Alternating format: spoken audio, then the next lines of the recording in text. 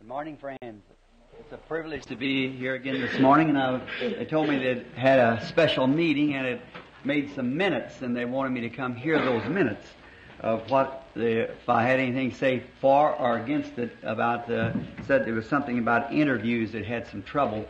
I think that's a grand like that. I accept that. That gives me a chance then that I can. Um, there is so many. I guess there's around 600 on waiting list right now. See, uh, special interviews, and I'm morally obligated to my word to stay with each one until that we hear from God for that person. See. And then if you do that, you might have one fellow right on the waiting list there for, or maybe with that one person waiting for two or three weeks for that one person, see, till we actually hear from God, coming together, praying together, going back, separating, coming back together, praying together, till we have thus saith the Lord for that person. Well, in that time, see these other things. Now this way, the way I understand it right, that each one will write their request, whatever they are, and just hand it in to me and let me have it, and then let me pray over this request, and I can call these people to work. That, was that the way it was? Now that, that's fine. See, and then uh, maybe while I'm waiting with this one person, I could get a hundred, two hundred people right in this one, this group right here where I'm waiting on one. Cause that way it'll give me a, a chance then to get to see more people. I, I really like that. Everyone fell on that idea, well, I think it's pretty good. That's fine.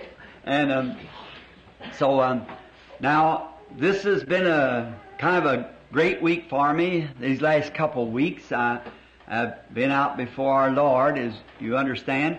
But I think before we start the service, um, I think I, at one to know I got a grandson here somewhere in the building, and perhaps if he's a Branham, he's disorderly, running around here somewhere, maybe. So he's a he's the one that to take these instructions. Uh, so he's um, around here somewhere. I think there's a dedication service, and for other mothers who have their little ones, well, if Brother Teddy, I believe it is, will come to the piano and uh, we're going to sing our familiar old uh, dedication service of babies. Uh, bring them in. Now, many people in many churches they uh, sprinkle the babies, and uh, we try to follow just the trend of the Bible, just as close as I know how to follow it. Now, there's no place in the Bible where they ever sprinkled an adult, let alone a baby, and uh, nowhere there's ever sprinkling was ever ordained of God. A baby or adult. But um, there is in the Bible where they brought little children unto Jesus. And he lifted up his hands and laid them upon the little ones and blessed them and said, Suffer little children to come unto me. Now that's our, our way of doing it here. And now as his servants, we just take them before, before God in prayer. And if there's anyone here that's got your little baby that has not been dedicated, we don't believe in baptizing in any form those little babies because they have no sin. They are born in sin, shaped in iniquity, come to the world speaking lies, but they have nothing to repentance of, and baptism is unto repentance and remission of sin. Amen. So their baby has nothing to repent for, and when Jesus died on the cross, He cleansed all sin. And now when we get old enough to know that we got to repent for what we did, then we are and recognize that Christ died for us. That little baby can't recognize that, that Christ died for him. But when we are old enough to recognize that Christ died for us, and then we are we are baptized then unto His death and raised to His resurrection. Lord willing, next Sunday I get on that, the Lord, if God willing. Amen. Now, therefore we bring them and dedicate them. Any mothers, any church, any creed, any color, anything else, we dedicate all little children to the Lord Jesus Christ. Now, Brother Teddy, if you'll let us sing this, bring them in, if you will, all right? Let's all together now. Bring them in, bring them in, bring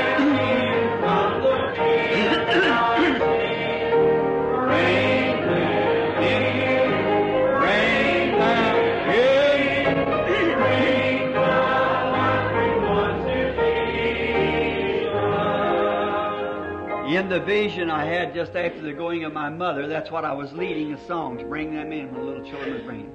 Amen.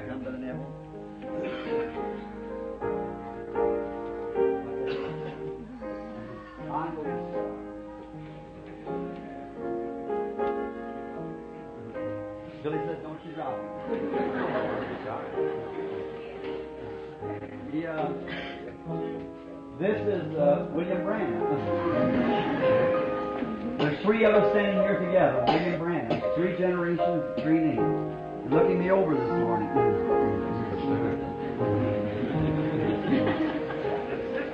There's something about him's kind of innocent looking.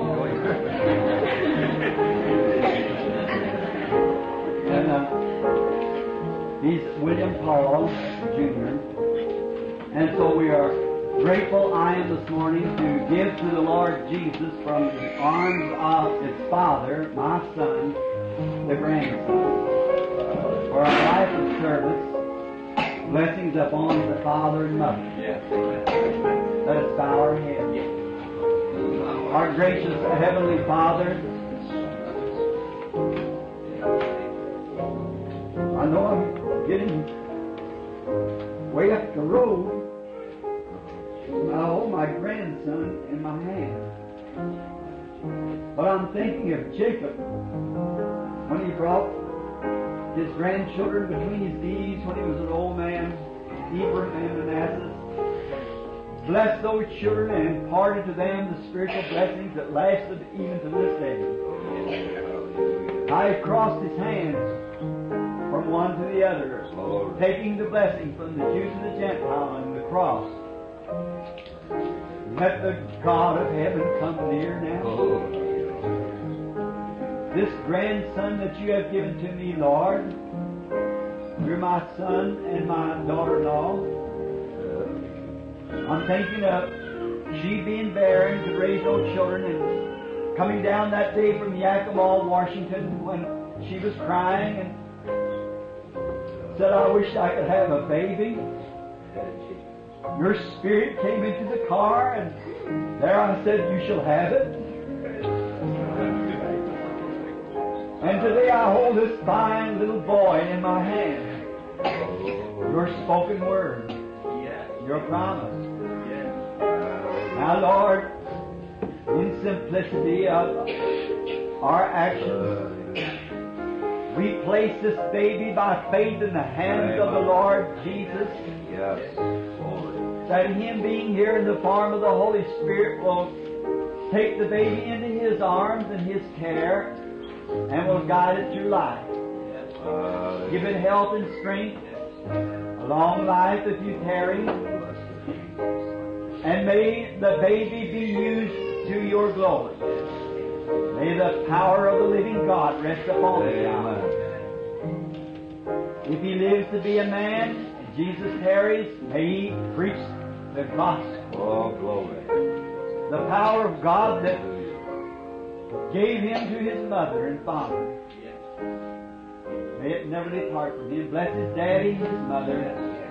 May they be raised, this, may raise this baby in the Christian atmosphere that all possible human training that they can do, this baby shall have it. Now, little Billy Paul Branham Jr., I give thee to Almighty God in dedication in the name of Jesus Christ. Amen. Amen. Hallelujah. Hallelujah.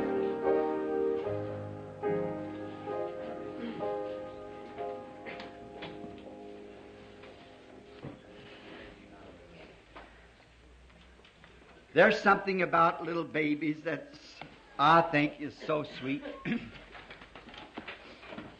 I remember Lois, she's cried and clutched her hand. She's real nervous. Lois has come up out of great tribulation. Just a little Kentucky girl and had rather a hard life and she one night Jesus appeared to her standing in the cold. And she come running up to the house around midnight, her and Billy, as they got married. And they, um, down by the side of the duophole there, I put my arm around her and led her to the Lord Jesus. She wanted baby so bad. They'd been married several years and coming down from Yakima one day, she was kind of weeping. It had been a, the Holy Spirit came in and told her of female trouble that she'd had, had called reasons she could not have any babies. And then the Holy Spirit came again and cursed that female trouble and give her the blessing. I dedicated him just now. There was, um, I have some little things wrote out here that I want to say first before we read the text. First is future meetings. I have written. That is next Sunday, the Lord being willing. I know it's getting icy and bad on the roads, and we got people here come from Georgia and Alabama and Florida and Ohio and Illinois, and, and this little group of people are made up from everywhere. Some of the people tell me, I passed by your church down there, Billy, and mornings there, these licensed from all over the country here. I say, yep. One here and one there. That's where I think the bride will be. Two in the field, I'll take one, leave one, and so forth. And I, I don't want the people to drive them icy roads. And I know it, I too, that right after Christmas now, I'll be leaving in the field, the Lord willing. I've got about 15 different services set up now. And um, I want to announce on next Sunday, the Lord willing, I want to teach on a very uh, outstanding message to me. I've been studying this week and the week before on Bible history, and I want to speak on the subject of Christianity versus paganism. So, idolatry. Next Sunday. And then the next Sunday is uh, Christmas Eve day. Next Sunday. And uh, a Sunday a week, I mean, pardon me. Sunday a week is Christmas Eve day. Now, if I give out for a message and those, uh, some of my dear friends come from Alabama and Mississippi and Georgia and around like that, the little children will sure be disappointed on the night of Christmas. And if the Lord puts up on my heart to bring the Christmas message to the church, I will then, if God being willing, I promise everyone that's out of town, see, I'll send you the tape myself. So you won't have to leave your kiddies out for Christmas night, Christmas Eve night, and then uh, I'll, I'll send you the tape in my compliment, see, uh, of the meeting. And uh, just remember that. Another thing, you know, you you can't expect everybody to believe everything you say. It just it just doesn't work that way. I forgot this morning, rushing away quickly, um, on account of getting down here. I happened to look up. Brother Woods brought my wife and them down. I I looked up and it's almost time to start the service down here for me to come in.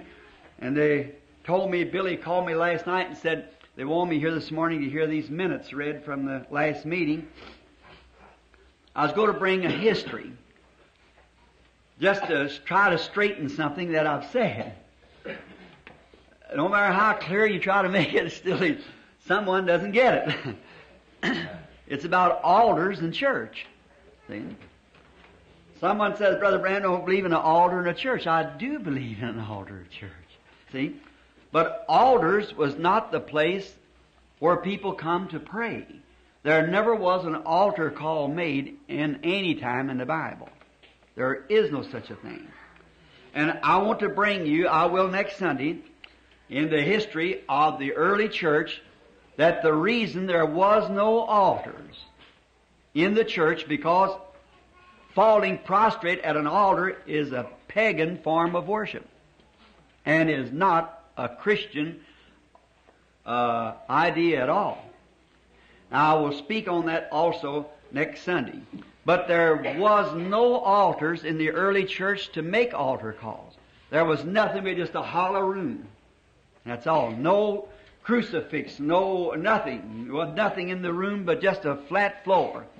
The people were the the Pentecostal church in the early days, as I will bring you from many different historians next Sunday, Lord willing, and I want to bring it to you from Ironside's early pilgrim church and from Hislop's Two Babylons, from pre-Nicene fathers, the Nicene Council, oh, so many of them, Hazelton's writings of the early church, and different ones, you see, to show you that nowhere, even in Ireland where I have visited, in the church that the Catholics call a Catholic saint, St. Patrick, but was absolutely not one speck of history nowhere that says that, that St. Patrick was nothing but a protester of the Roman Church.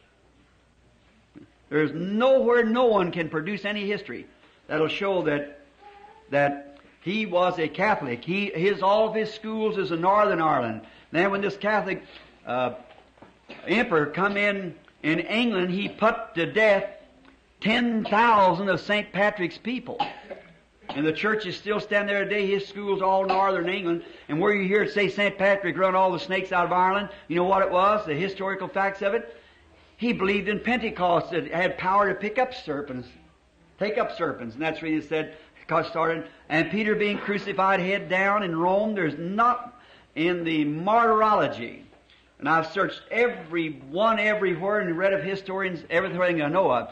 And there's not one scripture that said either Paul or Peter was ever killed in Rome. It's dogmas. It's just been started by the first Roman church, and it's not truth. There's a whole lot, I'll get in that next Sunday.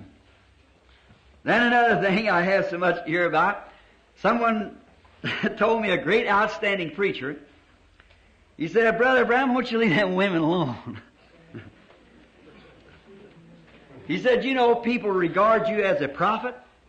Why don't you teach them high spiritual things? That man may be sitting present.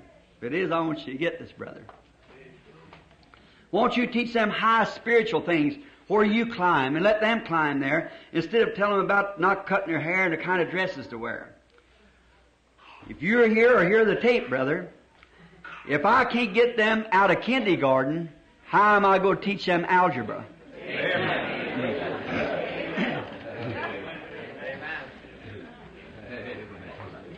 They haven't got the decency and morality about them to even let their hair grow out and wear dress like ladies. How you go teach them spiritual things? I don't know the first, don't know ABCs and try to teach them um, something high. Give them a college education when they don't know ABC. Let learn ABCs first, and then we'll, we'll go on to that. now, last week you had a, a great man here at the pulpit uh, to take my place. That was uh, Brother William Booth-Clibborn, which is known amongst all the preachers to be the prince of the preachers. Great man, great, great preacher. Frankly, he's one of the best there is in the lands anywhere. The man can preach the gospel in seven different languages. So you can imagine what he is. And he's a full gospel preacher. He was the one that stayed with me in that debate with them seven Church of Christ preachers that time. And if there ever was people I felt sorry for, it was them man after he got through with them. I never heard such in my life. They even got up and started walking away. He met him at the door and said, I thought you want to talk about divine healing. And he's so flat, oh, just so awful flat. He just called them everything he could, ignoramuses and everything, you know. So he, he's real flat. And that's the only thing about it. If he just season that knowledge with some love, it would be different, you see. And uh, he, uh, he may be here. but I, I mean that, you know, like that. If he'd just be real sweet about it, but oh my, he's an Englishman, and he just really can get so stirred up. But he met him at the door and pointed his finger in his face. Said, "You ever jump on him again that's me?" He said, "I'll expose you before the public, and I really may make a bunch of donkeys out of you." He said, "I've never heard of him since." See, I don't blame him. I'd stay away also. Yes, because you'll never get a word in edgeways around Brother Booth. Wonderful preacher, fine man, good Christian, clean, moral man. As far as I know anything about him and known him for years. I got to hear his tape, what he preached on you about how holy and high God was, how we were born in sin, and what could a man ever do that would bring, could tell God what to do, see? And that really was wonderful. Now, the reason I was gone at this time, I'd had a week of fasting and prayer, which had led me to have a decision. And I got a little switch here, supposed to be somewhere, to censor, sensor, what I didn't want. Oh, here we are. This is it. uh, what want on tape and what you don't want on tape. so, brethren, if your tape's a little messed up, well, don't you can cut that part out. Now, in there, that way, so many taken when uh, brother Mercener and them had the only ones who could take tapes. Why, uh, I'd have them to censor them out there before I let them go out. But uh, in this, anybody can take them now. You see, anybody that wants to take them can take them. And so I, I have to censor myself from the switch right here, what I don't want to say. Uh, let go out over the tapes. Because there's some things I could tell you all here that I certainly wouldn't want to get out with the people, because let them alone. the blind leads the blind, they all fall in the ditch anyhow, you see. So just don't offend them. Like Jesus said, don't offend them Pharisees. He said if they want some if they want some tribute money, go down and cast a hook in the sea and get the first fish and take the coin out of his mouth and go pay him. So don't don't offend him, just let him alone. But in all my life, since I've been a little boy, I've, the Lord has always given me visions, which we are acquainted with here at the church. And I'm sure in the land where these tapes will travel also. Of visions. And with this open Bible before me, and before God who I stand, I have never known of one of them failing. They've always been perfect. And I had a vision a few weeks ago, about three weeks now, this coming Tuesday, that drove me to my knees and out into the wilderness to fast and pray. And uh, I put on, being this cold, heavy, insulated uh, underclothes so that I to use on hunting trips so I wouldn't freeze up around there in my cave and in the woods. And I went up, not, someone said, well, Brother Branham, did you go up to seek, you ought to went up to seek a vision from the Lord. I said, no. You don't go, you don't do it that way. You can't pull nothing out of God. See, that's the reason people keep standing on the interview saying, ask the Lord, just stay with it, just stay with it. I had a word of the Lord take to Brother Neville about prophesying over everyone comes by this altar here. God told him, really called him down about it. See? Yeah. Don't do that. You'll shove him out in the flesh and then you'll have a false prophet. See? Yeah. See? Let him do just as the Spirit leads him to do. See? Don't, don't try to pull nothing out of God because you can't do it. Yeah. He'll only speak, like Balaam, the hireling prophet said, uh, I can only speak what God puts in my mouth. Otherwise, I can't say it. And that's the same thing I like this system they got now so that I can find out what, just what the Lord would have do. It's very good. But Jesus went to the wilderness to fast after the Holy Ghost had come upon him. John bare record seeing the Spirit of God come up on him and he was filled with the power of God, God in him. And then he went into the wilderness to fast afterwards, not before for the Holy Ghost to come on him, but he went in and fasted after the Holy Ghost came on him, see. And now, in the vision, I might say this, I mentioned it once. I was going to cut it off the tape, but I believe I'll just leave it on. I is about uh, three o'clock in the morning, I suppose. I'd gotten up, and I looked were in front of me, and I was coming down to the Jordan. Looked like I was standing on the map of Palestine. And I was coming down to the Jordan. And seemed like I could hear the song, I'm going down to the Jordan. Someone was singing it. And as I drew near the river, I looked back and seen which way I had come, and I was two thirds of the way there to the Jordan. And uh, I looked across Jordan and I said, Oh, praise God, just on the other side is where all the promises lay. Every promise lays in the promised land. And then I came to myself. I thought, could I possibly have, could it have been uh, that I was dreaming? Uh, because it's nighttime. See, a vision is something that you see with your eyes open just like a dream. You're looking right at it. And you're, you're conscious that you're standing like you're on the platform and you're, you're standing here, but yet you look like you're in a dr- dream. It's- You can't explain it. There's no way to do it. See? It's God's works, and God's ways are unexplainable. Amen. They have to be accepted by faith. Then, as I uh, sit there a little bit, the side of this chair, then all of a sudden, here it come back again. Then I knew then that it was vision. And then when I come into the vision again, it seemed that I was lifted up and setting on a, a highway, a narrow highway with some brother. I never knew who the brother was. I looked around I said, now I am sure and know this is vision. The Lord God is here. And seemed like everybody was afraid. I said, what's everybody so afraid of? And a voice came and said, there's such danger in these days. There's a great hideous thing that's death when it strikes you.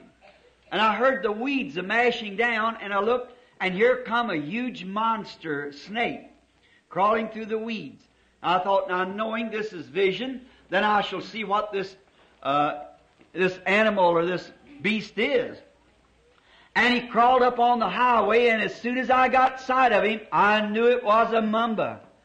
Now, a mamba is an African snake, which is the most deadly bite of all things there is. There's nothing as poison as a mamba.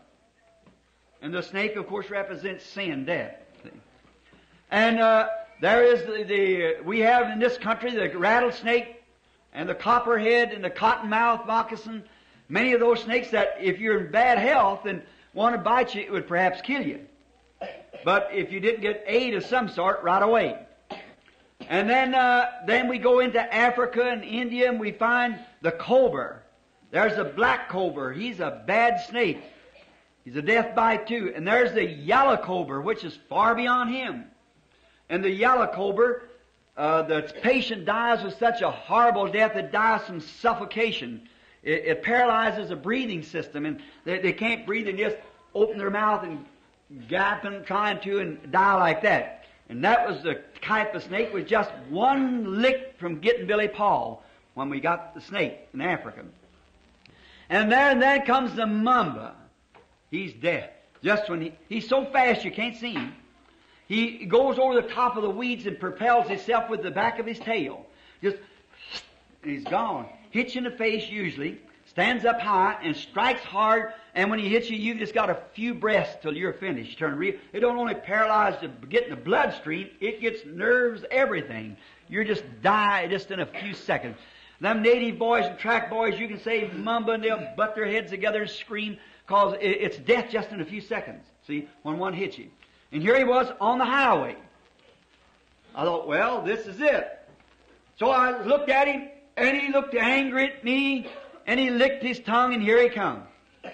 But when he got right close to me, he'd run up fast, and then he'd get slower and slower, and just quiver and stop, and then something would hold him off. He couldn't bite me.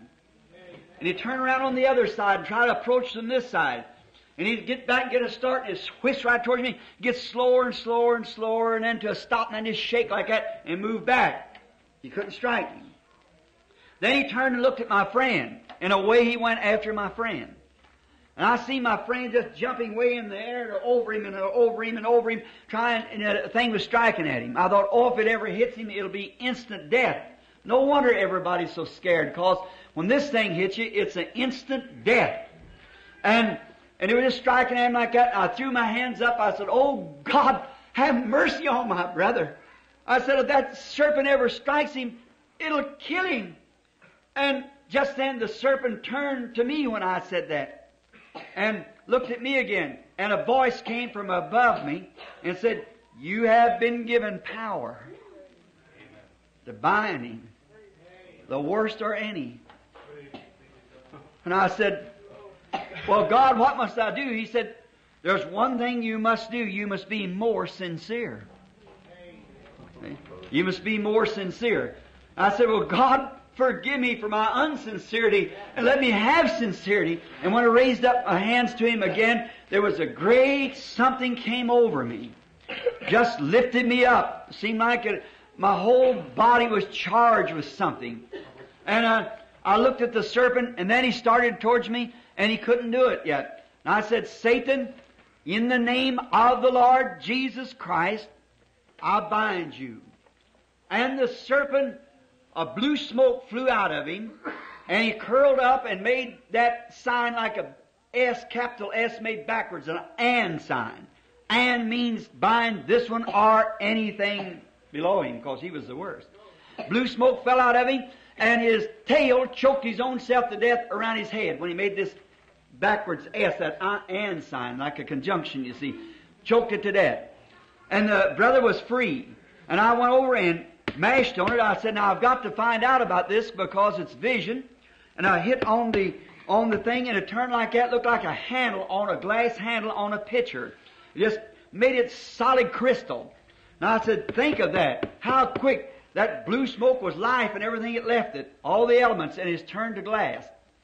And just then a voice came again and said, you can unbind him also. So I said, then Satan, that I might know, I unbind you. And when he did, he started coming to life again, wiggling. And I said, I bind you back in the name of Jesus Christ. And when he did, the smoke flew out of him again. And he choked himself right back again and turned to crystal. And then when he did that, that voice said, Now you must be more sincere than what you are to do this. Oh, glory. Then it left me and I was standing in the room. Hallelujah. A few moments I heard the clock go off and my wife had got getting up.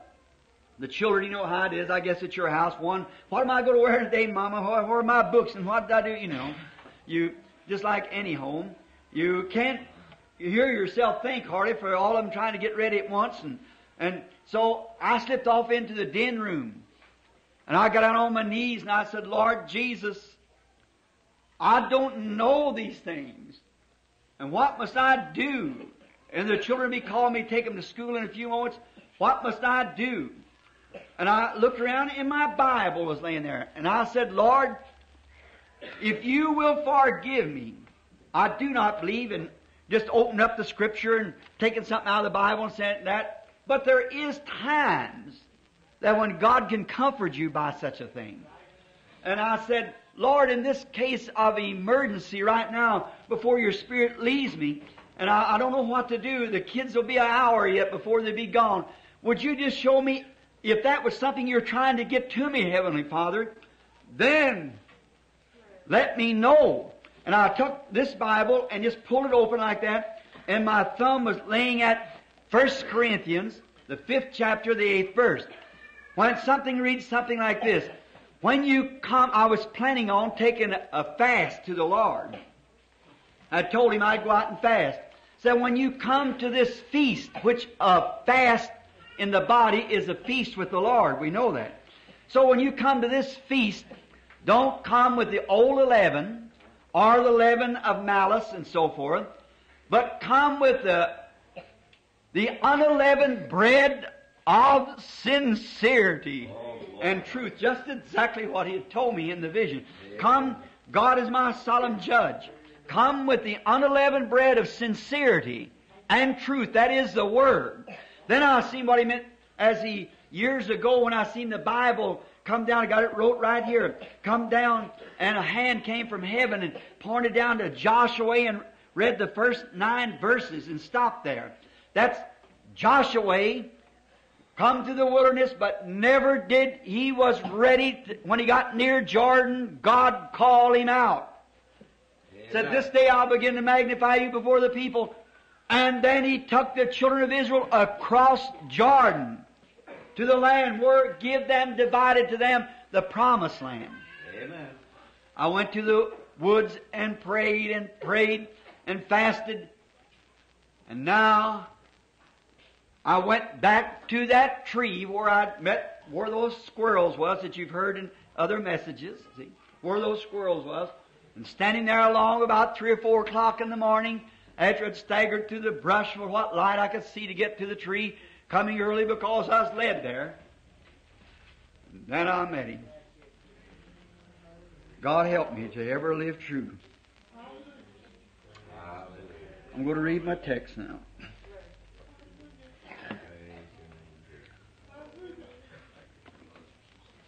I have taken for a text this morning, wrote down here somewhere. Oh, here it is. Joshua, in the book of Joshua, the 10th chapter. To you who are going to read behind me, or the 10th chapter and the 12th verse. And I just have one hour. And then uh, I think I'm not sure, but I believe Billy said he give out prayer cards this morning. So there wasn't very many, but just some people want to be prayed for. And uh, anybody got prayer cards? Raise up your hand. I thought, oh, that's right. Okay, that's fine. All right. Now, the 12th verse of the 10th chapter of Joshua. And now, remember now, in the future, next Sunday, I want to speak on Christianity versus idolatry. And then I'll tell you from then about whether the Lord leads on for the Christmas message or not. It seems like that I have a message on my heart for the people at Christmas, and then I'll tell you from then. Now beginning the reading at the 12th verse of the 10th chapter of Joshua. Then spake Joshua to the Lord in the day when the Lord delivered up the Amorites before the children of Israel. And he said, in the sight of Israel, Sun, stand thou still upon Gibeon, and moon in the valley of Ajalon. And the sun stood still, and the moon stayed, until the people avenged themselves upon their enemies. Is not this written in the book of Jasher?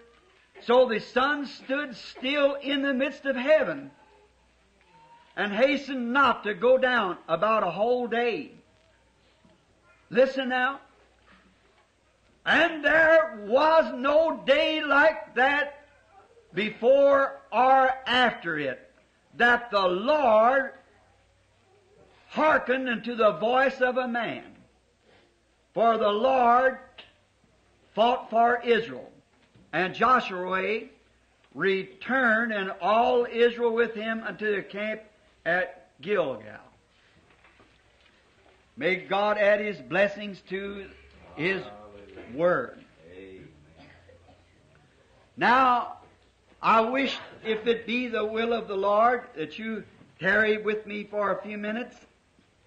I want to take a subject, strange, odd, upon reading such a scripture.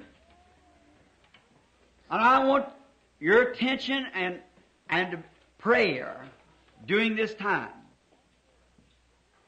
I want to take the subject of one word, paradox. And first I'd like to explain maybe what a paradox is. In the Webster's dictionary, it says that a paradox means something that's incredible but true. That is a paradox. Something that's almost completely out of reason couldn't be so, but yet it is. That's a paradox. Now I want to rest a few minutes on these words, a paradox. Now we have many things that we could refer to as paradox. One thing that I would like to refer to is this world itself is a paradox. Its standing is a paradox. Last night I was talking to my daughter, Rebecca, that's in high school. And I was studying here in the scripture and, and was telling her about reading this, uh, this verse here. And she said, Daddy, Joshua actually stopped the world, didn't he? I said, I don't know what he stopped. He stopped the sun. She said, he could not stop the sun because the sun doesn't travel. I said, the reflection of it travels across the earth, though. And he stopped that.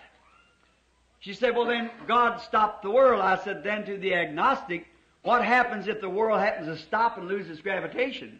It would shoot through space like a, a star and missiles of it be falling for a hundred billions of years in space.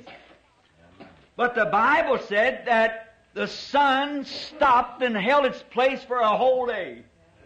I believe it. I believe it. Amen. It's unreasonable and incredible, but it's the truth. Pray tell me then, which is the top side of the world, the North Pole or the South Pole? How do you know if you're in space? You say the South Pole's down under us. They think the North Pole's down under them. It's standing in a space. And a little circle of air as it's turning some thousand something miles per hour, cause it's 24 or 25,000 miles around it, and it turns around 24 hours, so make it going better than a thousand miles an hour. Uh, traveling around, and it never misses striking exactly where it's, where it's on the equator, where it goes around. It never misses a minute. Perfectly timed, standing in the air. If that isn't a paradox, I don't know what one is. How that it's all the heavenly systems, how they are so timed so perfectly, till that in years that's to come, 20 and 30 years from now, science can see the coming of the eclipse of the sun and the moon passing and can tell you to the moment when they will pass and when the eclipse will start. No matter how fine a watch that we have, one of the precision, I've got one here that was given to me in Switzerland as a present when I was there. The value is about $300 in American money that was given to me. There isn't a week but what it has to be retimed. All clocks, nothing that man can make is so perfect. It'll, in a few years, it'll be worn out and gone. As it gets older, it'll get worse all the time. The jewels will wear down, the accuracy of it will leave it. There's nothing that can be ground or fixed out by man or honed out by man that can stay perfect, but this world stays perfect. What controls it? Well, you say, I don't know. What controls it? What holds it in its place? It truly is a paradox.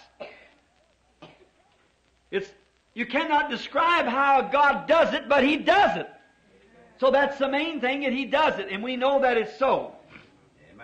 It's incredible how that you could spin a ball in the air. It will not make one complete revolution in the same place.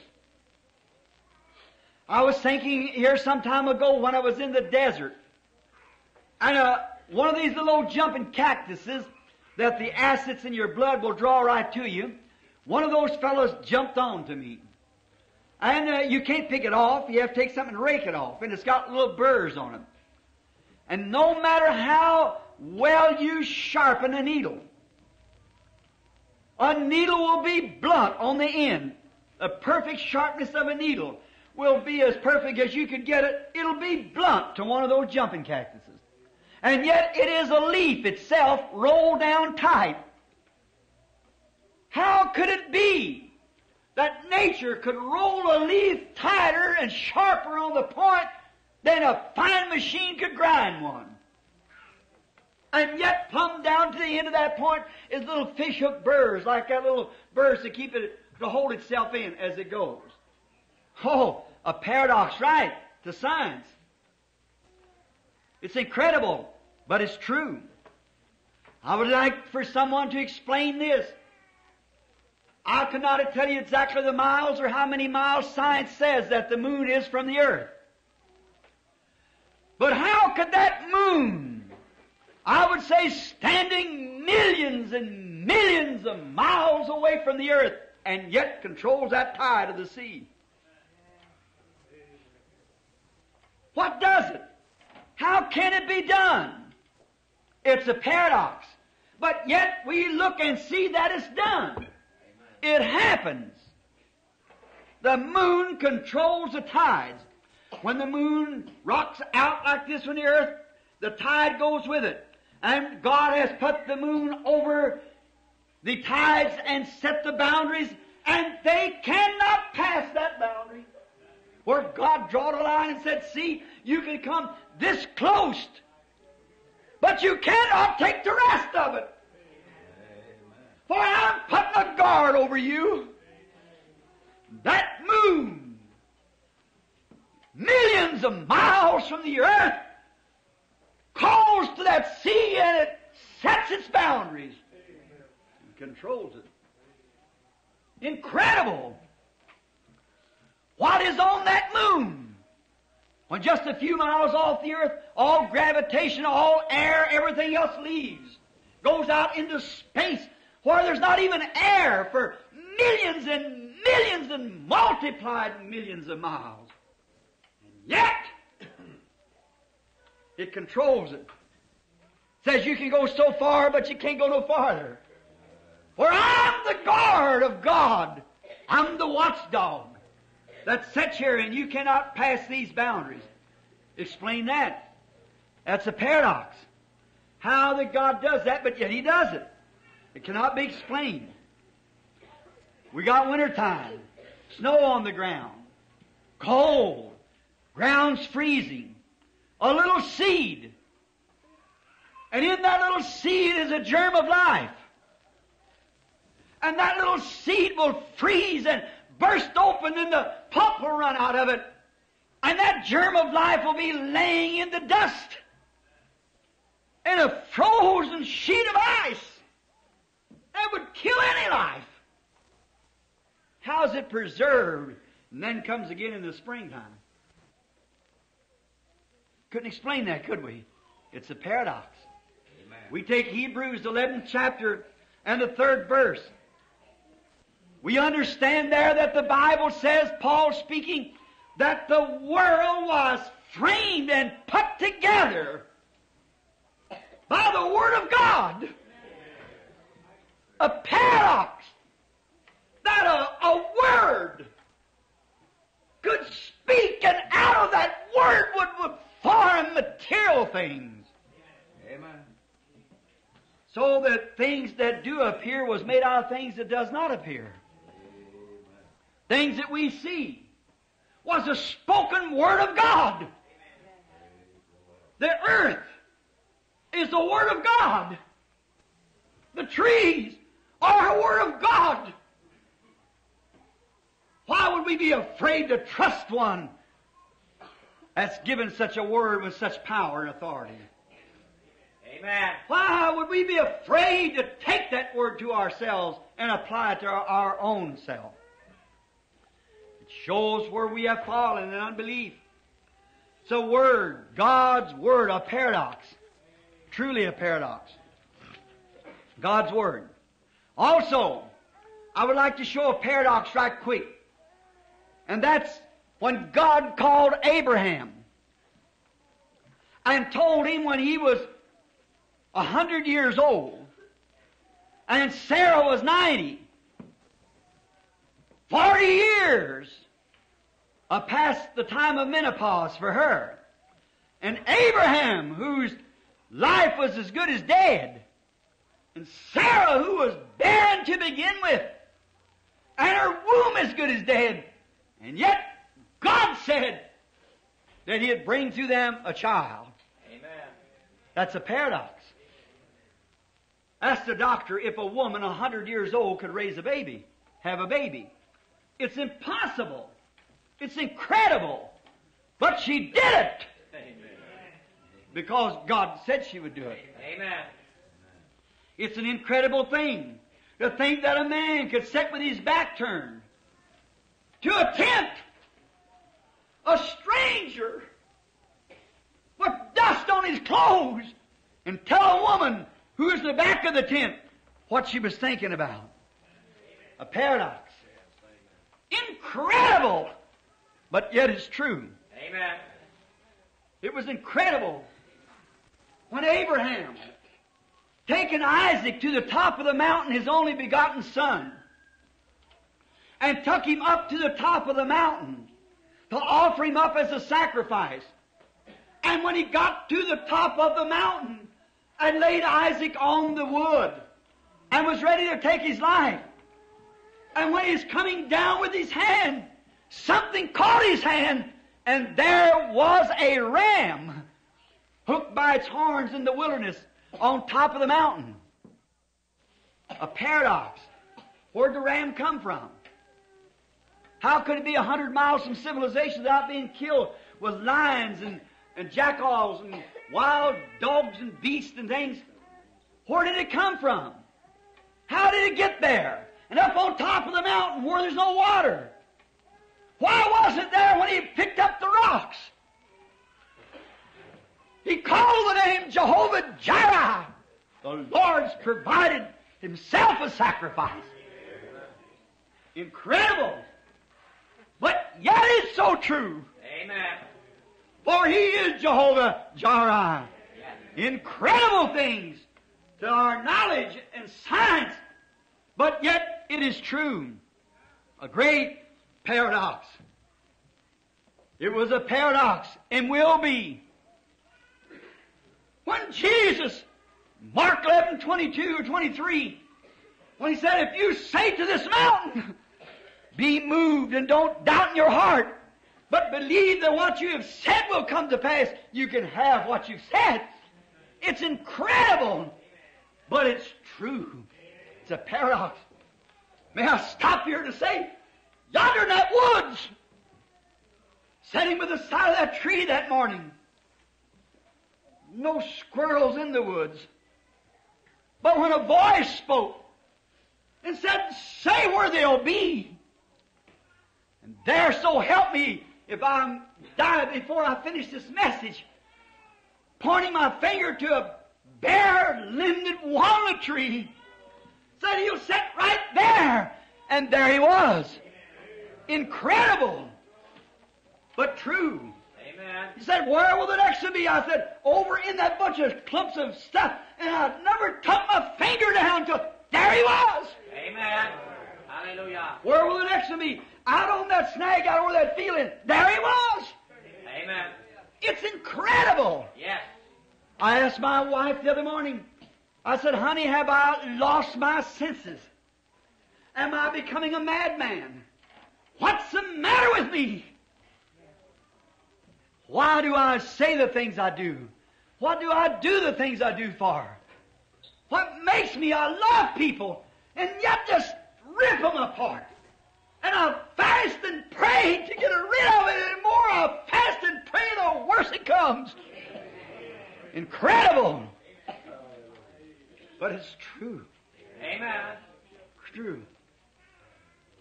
I seen a woman raise her hand just stand back in the building, praising the Lord. It was Hattie Wright. Sitting down there when she had two boys, if they'll excuse me in saying this, renegades. Boys of the world. That little woman sitting there that day, a widow. And I said, Hattie, the Lord God, you said the right thing. He provided those squirrels. He's Jehovah Jireh. She said, that's nothing but the truth of God. Oh, she said the right thing.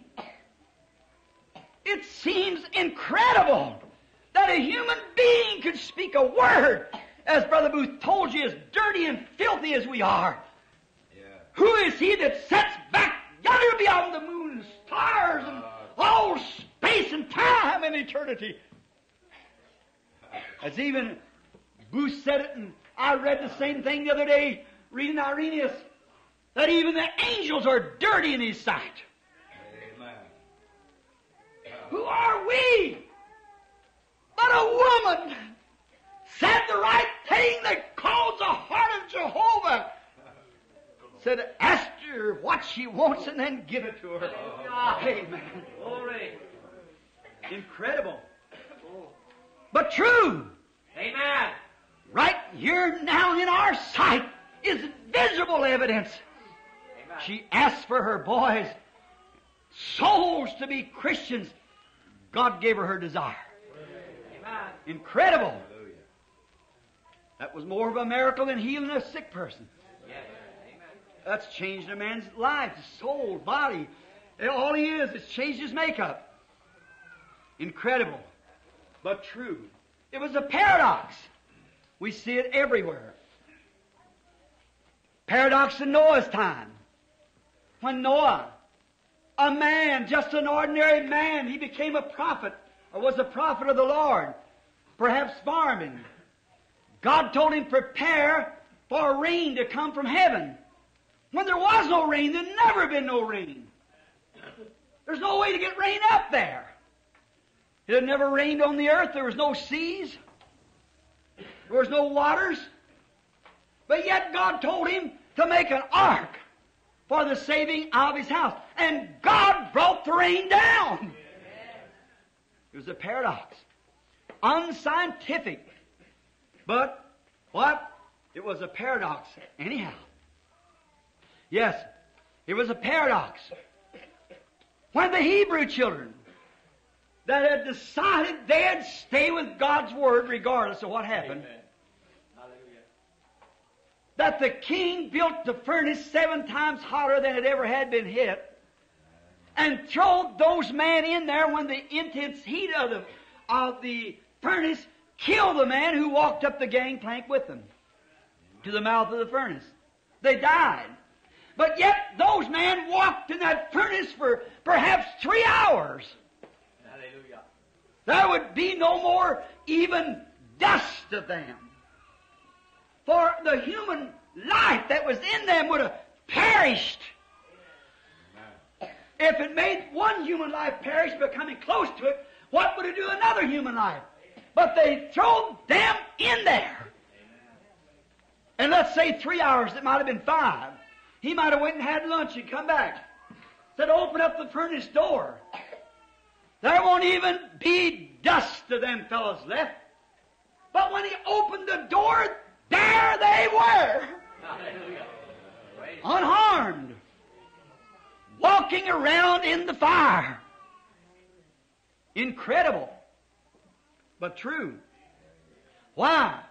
He said, How many did you put in? They said, We have put three in. He said, I see four. That's what made the paradox. And that one looks like the son of the gods.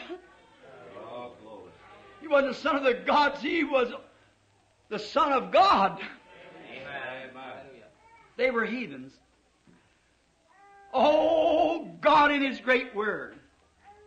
There come a time when God's army had got cowardly and was afraid of a man and stood on the side of a hill when they let one man that was three times any their size stand out on the side of the hill and say, Now, you trust in a real God, you say?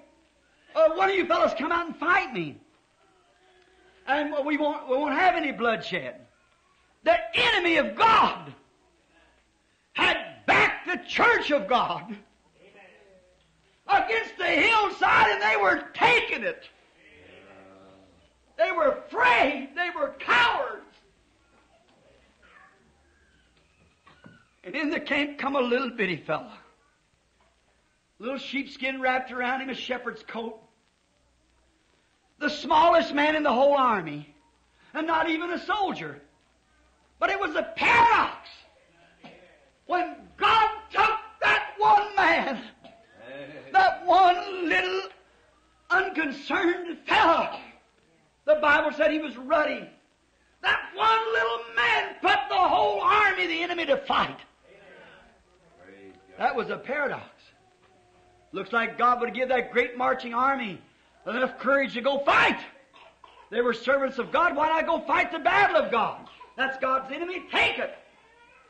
Looks like He would give them courage, but God took one little individual. And remember, another paradox. He never took a sword.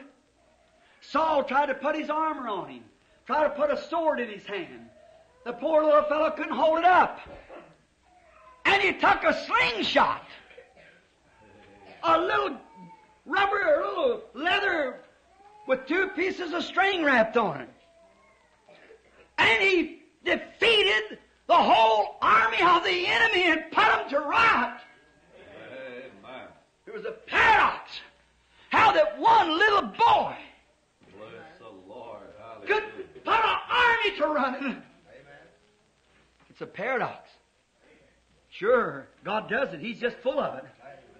Sure He is. That's what He does. That's His way of doing it. Yes, sir. It was a paradox. When Egypt had a great army that they had, the whole world was conquered. They had every nation under their hands.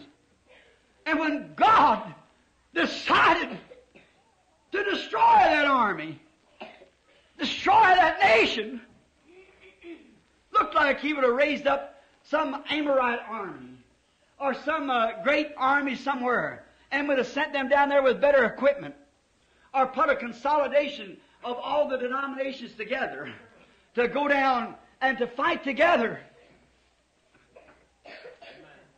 So he'd get full cooperation. But God used a paradox.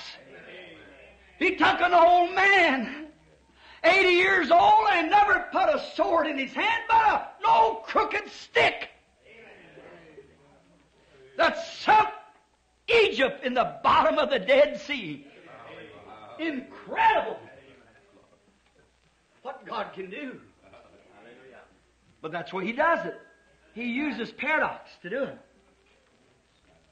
See, He brings it to a paradox. A crooked stick of a shepherd instead of a marching army to defeat a, a nation that rule the world. Oh, the only thing God's waiting on now, I believe. Russia don't mean nothing to God. Amen. He wants to get one man. You don't have to have big organizations. You don't have to have big denominations.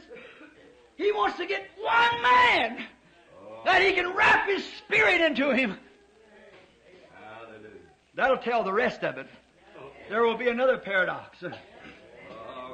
They'll tell you you can get someone completely surrendered. That will do that.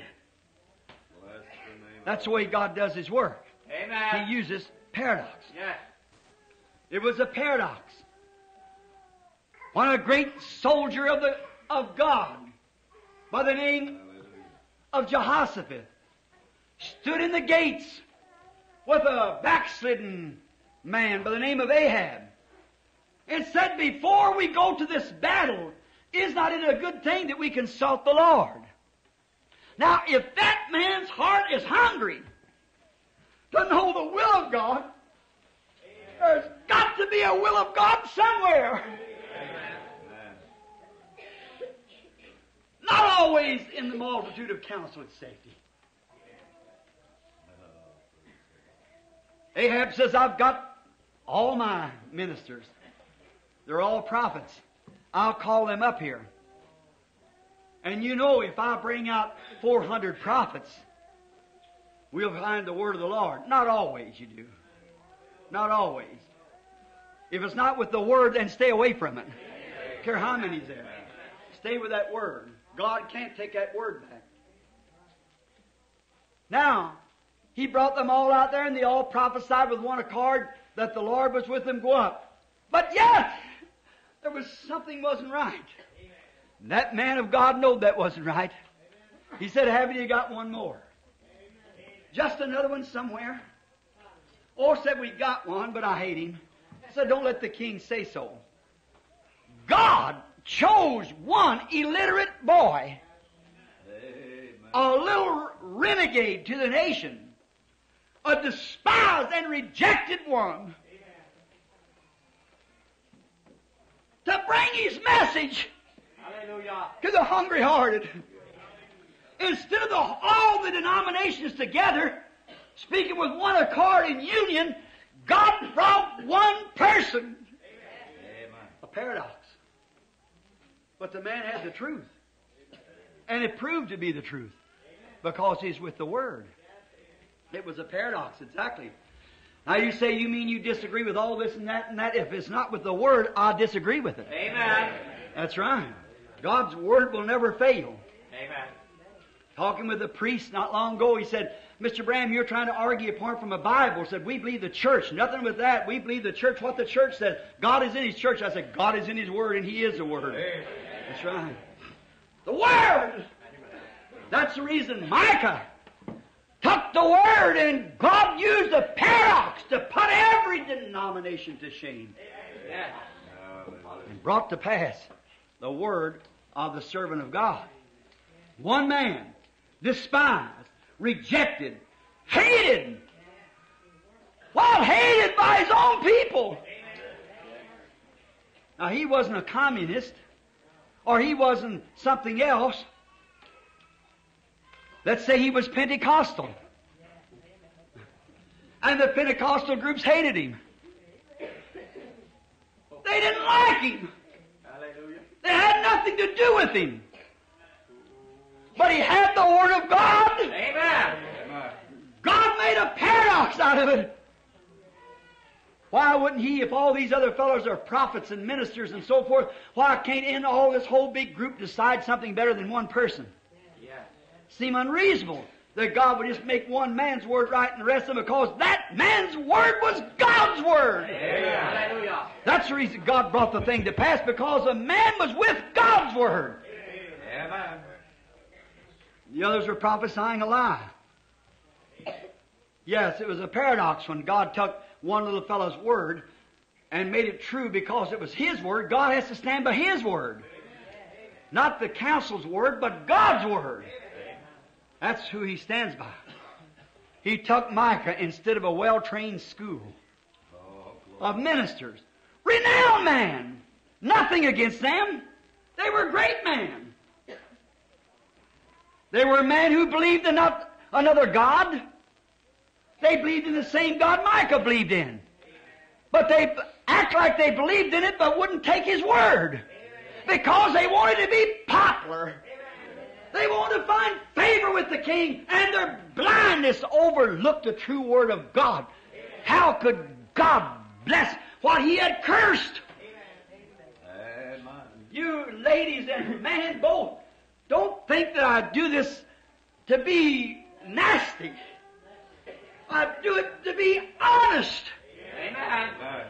That's the reason how can I say that women should have, all right, let them cut their hairs off and things like that.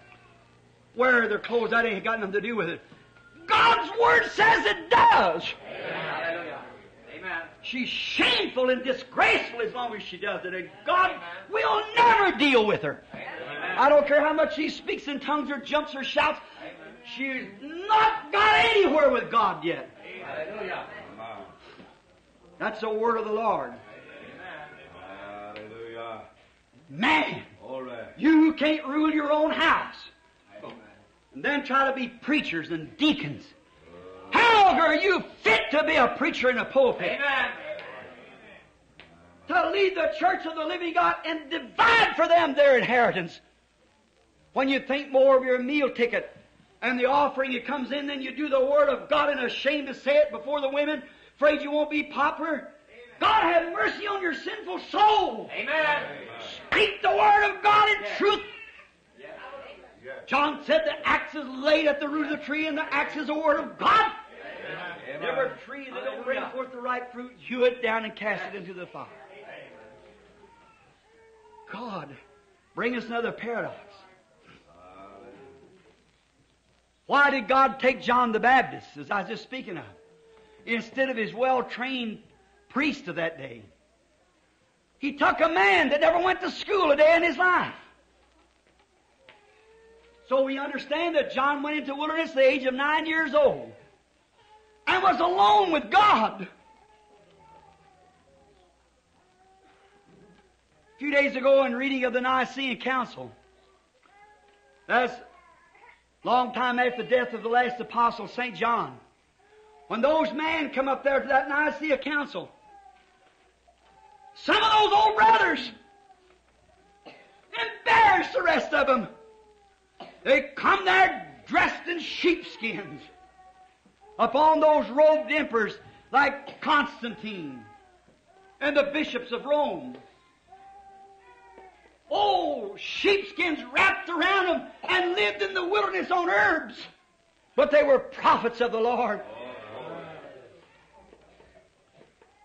The little church, the Greek side went on, the Roman side went back. But it goes to show when you compromise, you can't be a servant of Christ. John, in that day the church was very orthodoxy. They had the priest, a well trained man. But God chose a man that had no education at all. and took him out of the wilderness with a piece of sheepskin wrapped around him and his whiskers all burred out, his hair hanging over his neck. No pulpit to preach from. No church to invite him. But he probably stood in mud half to his knees and preached the kingdom of God is at hand. God chose that man. When Jesus said, Who did you go out to see? A man that can speak at all the schools? A man that's finely uh, robed and so forth? He said, They're king's palaces. So, what'd you go to see? A prophet? He said, More than a prophet. This is who the prophet spoke of. Would come, I send my messenger before my face. He was a, the angel of the covenant. He was the, the great forerunner. But it was a paradox. How God, why didn't he come down to that big school up there at Jerusalem? Why didn't he come to Caiaphas as the high priest? Why did he not come to some of those great trained men? who had been trained from childhood, and their fathers had been trained before them, and their fathers before them, for generation after generation after generation. Trained and schooled, fine, high cultured, educated, and then pick an old man out in the wilderness that never had a day's schooling in his life. And set him out there on the Jordan and said, This, this is him. A paradox, exactly. Uncredible. But it was true. God did it. The virgin birth of our Lord. Incredible. For a woman to bring a child without knowing a man. God did it. Amen. Hallelujah. God did it. See, it's a paradox. Took a little old woman down there, a little old girl engaged to some man, about 45 years old. She herself was about 16 or 18. And engaged to this man who was a widower of four children. And then took this woman and overshadowed her by the Holy Spirit and conceived in her womb the body that tabernacled Almighty God. The paradox. How did heaven can't hold him? Earth is his footstool. Heavens is his throne and yet could bring the fullness of that Godhead bodily and embodied into a man. Hallelujah. Glory. Hallelujah. When you can measure for hundreds of billions of miles into aeons of time and never measure God. And yet, a little baby laying in a manger contained the fullness of his body, head body. Jehovah. Glory. A paradox. That great God who sets back under to control a hundred million suns shining on planets, who never began or never ended, and would embody himself in a manured stable. And then we get out and dance and drink and carry on in a celebration. It's not a celebration, it's a worship. Amen. We celebrate Christmas. How that God did that in order he could die to take the place of a sinner. It was a paradox when a little curly headed boy, little stoop shouldered fella, he probably wasn't five foot tall, and he had seven locks hanging down around his head, a little sissy. And he was uh, uh, on his road down one day to see his girlfriend and a lion roared against him. Did anybody ever hear a real lion roar? Uh, uh you probably have in these cages and things around here. But I want to tell you, they're just meowing then. You to hear a wild one really roar. The rocks will fall off the hill a half a mile away. Pebbles roll down the hill. It just vibrates the ground. So where that roar comes from, I don't know. Oh, I seen one one day. He's hanging his head down uh, a big old yellow maned lion roaring at a black one because a black man because he picked up a piece of meat. He left it laying there and as if he must say, "Now you leave that alone. I'm going down to get a drink of water." And he went down to lap the water. And when he come back, this black man had been licking on it. The old pappy just stopped, put his head down, and he let out a belch. And I say that the rocks rolled off the hill. Oh my! He'd shake the city if he roared like that. A roar of the lion. Oh, he's vicious. And that roar, right against this little curly-headed shrimp, we called him. And something happened. That little shrimp walks over and gets him by the mouth and puts one hand down this way and one that way, not nervously, and just pulls him apart and lays him down there. That's a paradox. What caused it? If you'll notice the reading just before it and the conjunction, the Spirit of the Lord came upon him. That's what made the difference. Yeah. Amen. And he slew the lion. Then one day some Philistines came after him. He was unarmed. There was a thousand of them. They had long spears and big shields, and uh, that's like a door in front of you, like that, the shields. Just think of a great big brass shield now all the way in front of you, with helmets of brass on, big coats of brass, and all over their shins and everything with brass. Great big long spears, long as them, out that pole there, maybe uh, 15, 20 feet long. Big brass uh, heads on them like that, sharp as a razor. And they found this little curly-headed shrimp coming down from Palestine to visit some girlfriend of his down there. So they said, there's that little feller.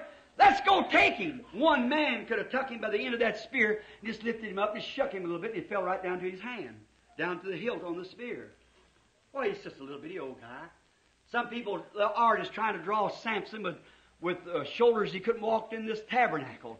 Well, that wouldn't be no mystery. Uh, man that size, Samson was just a little bitty old thing. But the Spirit of the Lord's what was big.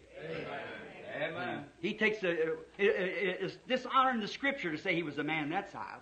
God always takes the foolish and ignorant things to, like that to do His work with. You see, He takes something as nothing. So this little fellow was standing out there, and all at once, here come these Philistines and surrounded him to kill him. And he took the jawbone of a mule that was laying there, a wild one of little donkeys, picked up the jawbone of that mule, and the Spirit of the Lord came on him. And that was a paradox. Hallelujah. How did he beat down with the jawbone of a mule through that half inch thick helmet over the top of the head with the jawbone of a mule? Glory.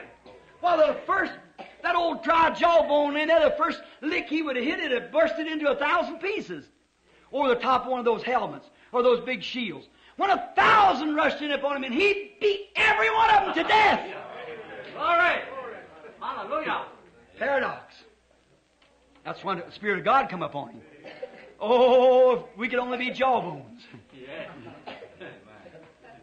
in the hand of God.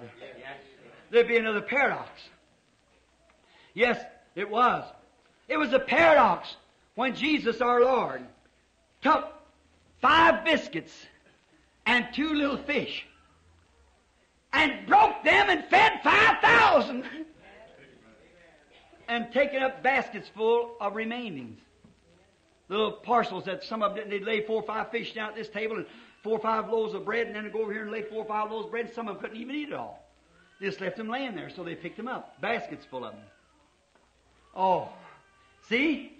How did he do it?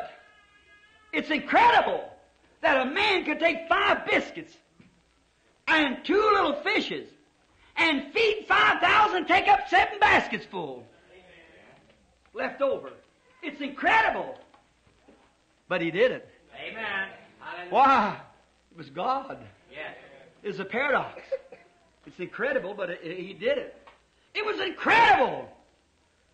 And never before or after, on a stormy sea, and the waves so high till it was sinking a ship, when a man come walking down across those waves. How you see every time the the great big white cap comes around him, just bursts and falls down towards the bottom and he walks right on. It's like he's on a piece of concrete. Walking upon the sea in time of a storm. Let science figure that one out. What held him up there? What kept him on that sea when it's a half a mile deep right in there? When those great waves, many times bigger than this tabernacle, splashing while, while filled the little boat and waterlogged it. Is way inside and out. and it was sinking. The mast poles had broke down and the oars was gone. And all hopes of being saved was gone. And here comes somebody walking on the water. Oh, glory. A paradox. Sure. Incredible. Cannot be explained, but he did it. Amen. Oh, yes. He did it. Come walking on the water. It's incredible that this same one, oh God, I hope this drives home. Incredible! A real paradox that this same one, Jesus of Nazareth, would choose a bunch of ignorant fishermen for his church instead of the well-trained priests and denominations of that day. How that a God that had all wisdom, that could walk on the waters, that could turn water into wine, that could take uh, five biscuits and feed five thousand people and take up seven baskets full left over. How that that same one, the God that sets in eternity yonder, that's the, so bright to the suns, hide their face from him Hallelujah. the very pool of wisdom and purity and of understanding and knowledge supreme of the supremes. And he would come to a place where a great organization of churches had all gathered together and trained all their men, and he'd go down and pick up a bunch of dirty, stinking fishermen that couldn't even write their own name, and choose that type of man to set the church in order for his bride. Strange thing, isn't it? Yes. Looks like at least he took somebody who was trained. He's a trainer. Amen. Amen. He's the one who does it. Strange that he did it. Instead of taking churchman, he took fisherman to do it. Very odd. Amen. But that's why he does it. It's true. It's a real paradox.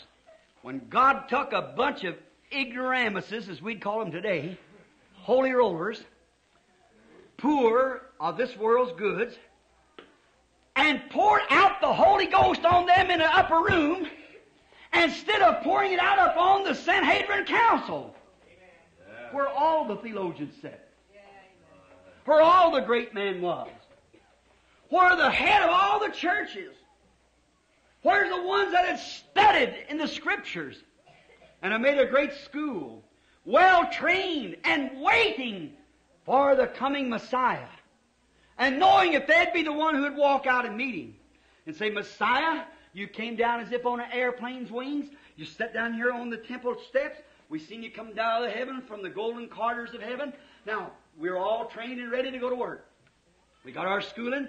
We got our Bachelor of Art. We got our PhD, LLD, and all this. We're all trained here. We stand 10,000 strong. We're ready for you. Come on. We're waiting. Calling come. But instead of that, he goes down and gets a bunch of people that didn't hardly know right hand from left. Hallelujah. That's right. And put them in the upper room Amen. and poured out his spirit. Oh. Oh God. Upon a bunch of people like that. Instead of taking the Sanhedrin Council, he took fishermen. Isn't it strange that he didn't use their educations? It pleased God, it seems to please God to make his own church a paradox. The same thing he's doing right now. Making a paradox out of his church. Bypassing all the great highfalutin and all this stuff there, the so-called church, and he'll, anybody that he can get into his hand. It'll open their eyes and see what's truth and test it with the Word of God in the time that we're living place them into the body. A paradox. God chooses such. He makes His church a paradox.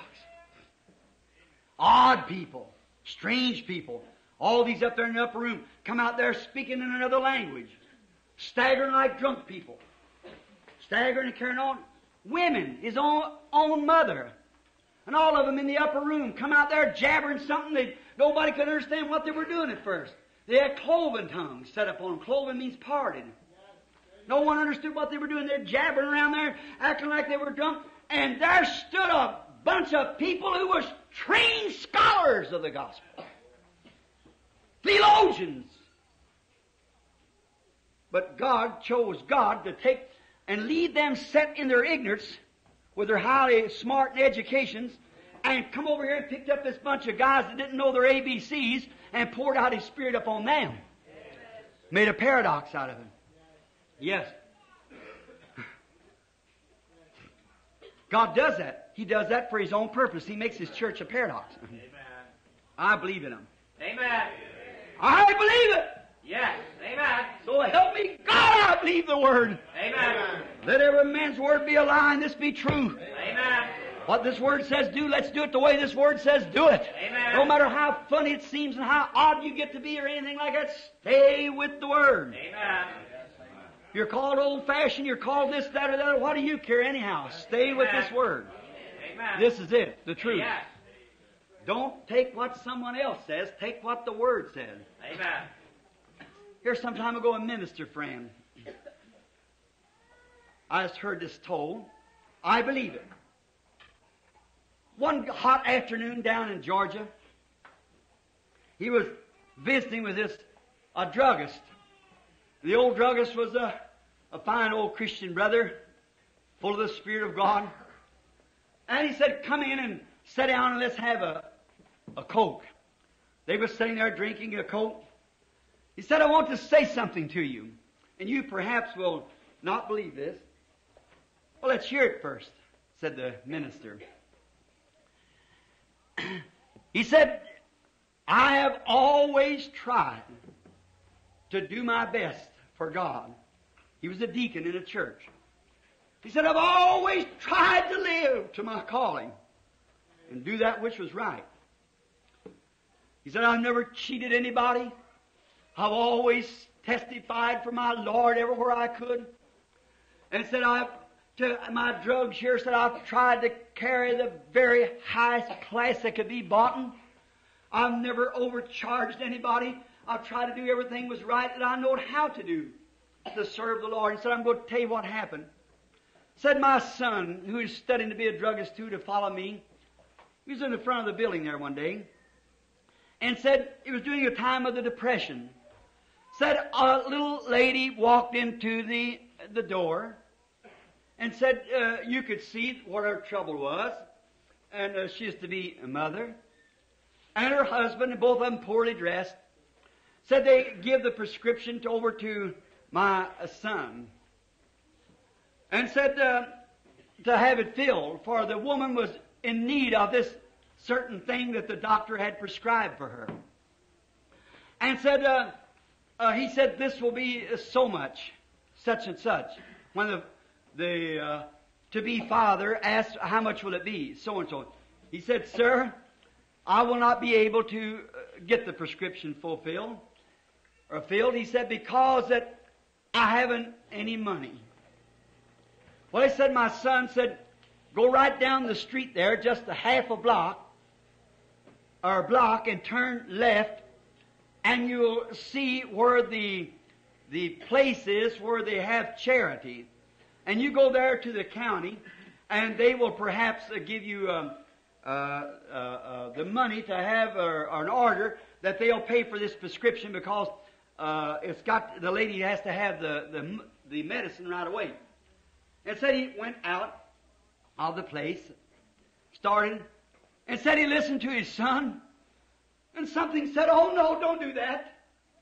Said that woman needs that. Said he had to think that long line of people down there. It's hard for a well man to stand in the line, let alone a mother in that condition. So I said to my son, "Go call him, tell him to come back." He said, and I rushed to the door and said, "Come back, come back." They come back, and I said to my son, "Fill that. There's no charge." And said, "My son, give me the prescription." And I went over and had it filled and filled it up the best that I could, and brought it out to give to the lady and tell her that uh, there'd be no charges on this. That was all right, cause she was in need of it real bad, and and I'd get by without it. So uh, the money for it. So said I just started to lay the medicine in her hand. And when I did, I looked at the hand. They were scarred. Then I looked up and I was putting it in Jesus' hand. Said I learned then that the Scriptures what it meant in so much as you've done the least of these my little ones. Said, you believe that? The fellow said to me, Why, sure I believe that. It was a paradox. Incredible. But it's true. How about the great Saint Martin of Tours, France? When he, being a soldier, was one night coming down a cold, dark street, and there was a, in this cold, dark street, laid an old bum laying on the street, freezing. His blood was freezing in his veins. And Martin, yet not a Christian. And anyone who's read Bible history knows of St. Martin. The historian the other day that was trying to get his uh, card, that's one I picked for the, for the third church age. St. Martin because he had signs following.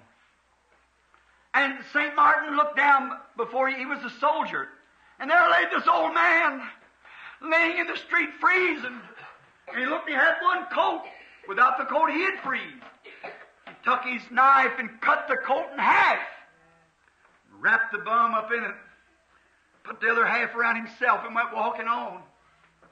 That night when he got into his room and had sat down, he heard someone come into the room. He looked, here come Jesus, wrapped in that piece of coat. That was his call to the ministry. He become a saint. He spoke in tongues. His school was trained. He trained his people right with the Word of God. He didn't care about what the first church of Rome or any of them said. He stayed right with the Word of God. He taught them speaking in tongues and laying hands on the sick. They raised the dead. They cast out devils.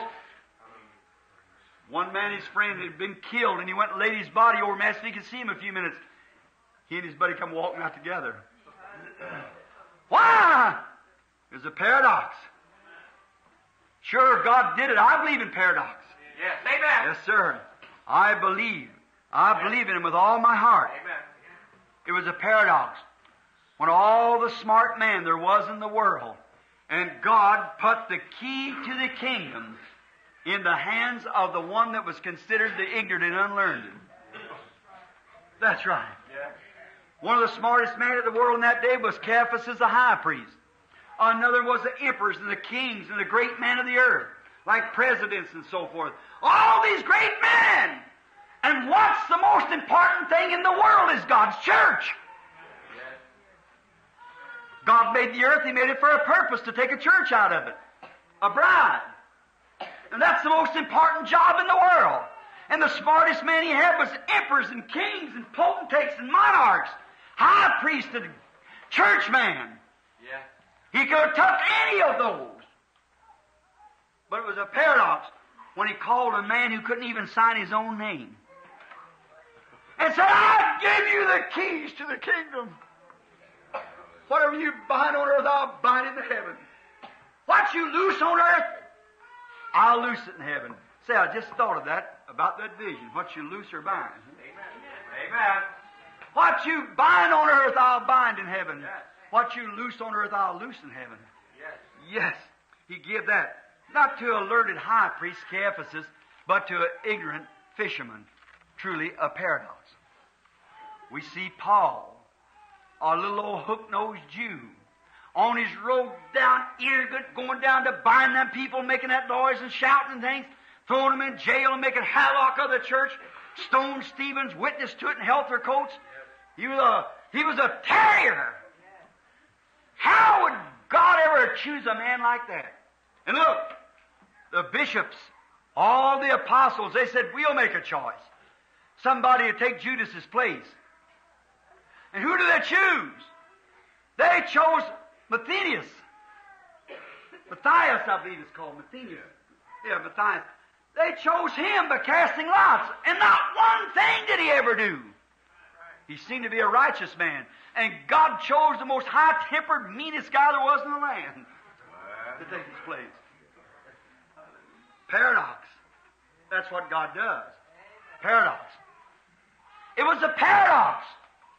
Well, this ungodly, high-headed, high-tempered, mean, despisable Jew was on his road down one day to a city to bind the Christians and put them in jail. And when all at once he was stricken down, and when he looked up, there stood that pillar of fire. And a voice coming saying, Saul, Saul, why persecutest thou me? It was a paradox when he could see it and the rest of them couldn't see it. See? Somebody says, Oh, I never see that. There's no such a thing there. there. You don't, that's wrong. About this today, they say this, I don't believe such. No, sure not. Certainly not. But there's there, those there that does see it. Amen. Amen. Sure, if you can't, you're blind, you can't see it. A fellow said to me some time ago, been several years ago, said, now, if I'm in your way, he said, uh, now Paul struck a man blind. Said, if I be the devil, said, you strike me blind. I said, I don't necessarily have to be done. You're already blind. See? You're already blind. You're the worst kind of blindness. See? I said, Anne in the temple could see farther than you can see. And she was blind, physically. He's blind spiritually. Sure. It was a paradox. It was a paradox when God made so-called heresy. All this noise and shouting and praising God and speaking in tongues and people who's despised and rejected and called idiots and heretics. It's a paradox when God, the great Father of all, the Father of our Lord Jesus Christ, who chose a bunch of heretics to bring salvation to His church instead of the well-trained ecclesiastical theological system. It's a paradox. Not long ago, I was in a city in Washington, or I believe it was Oregon, and there was a, a reporter come. Two little reporters had cigarettes in their hand. They come in, they was going to write me up. Sure, really good, you know. And they were going on saying this thing and another thing. And he said, uh, and, uh, and are you a holy roller? I said, no.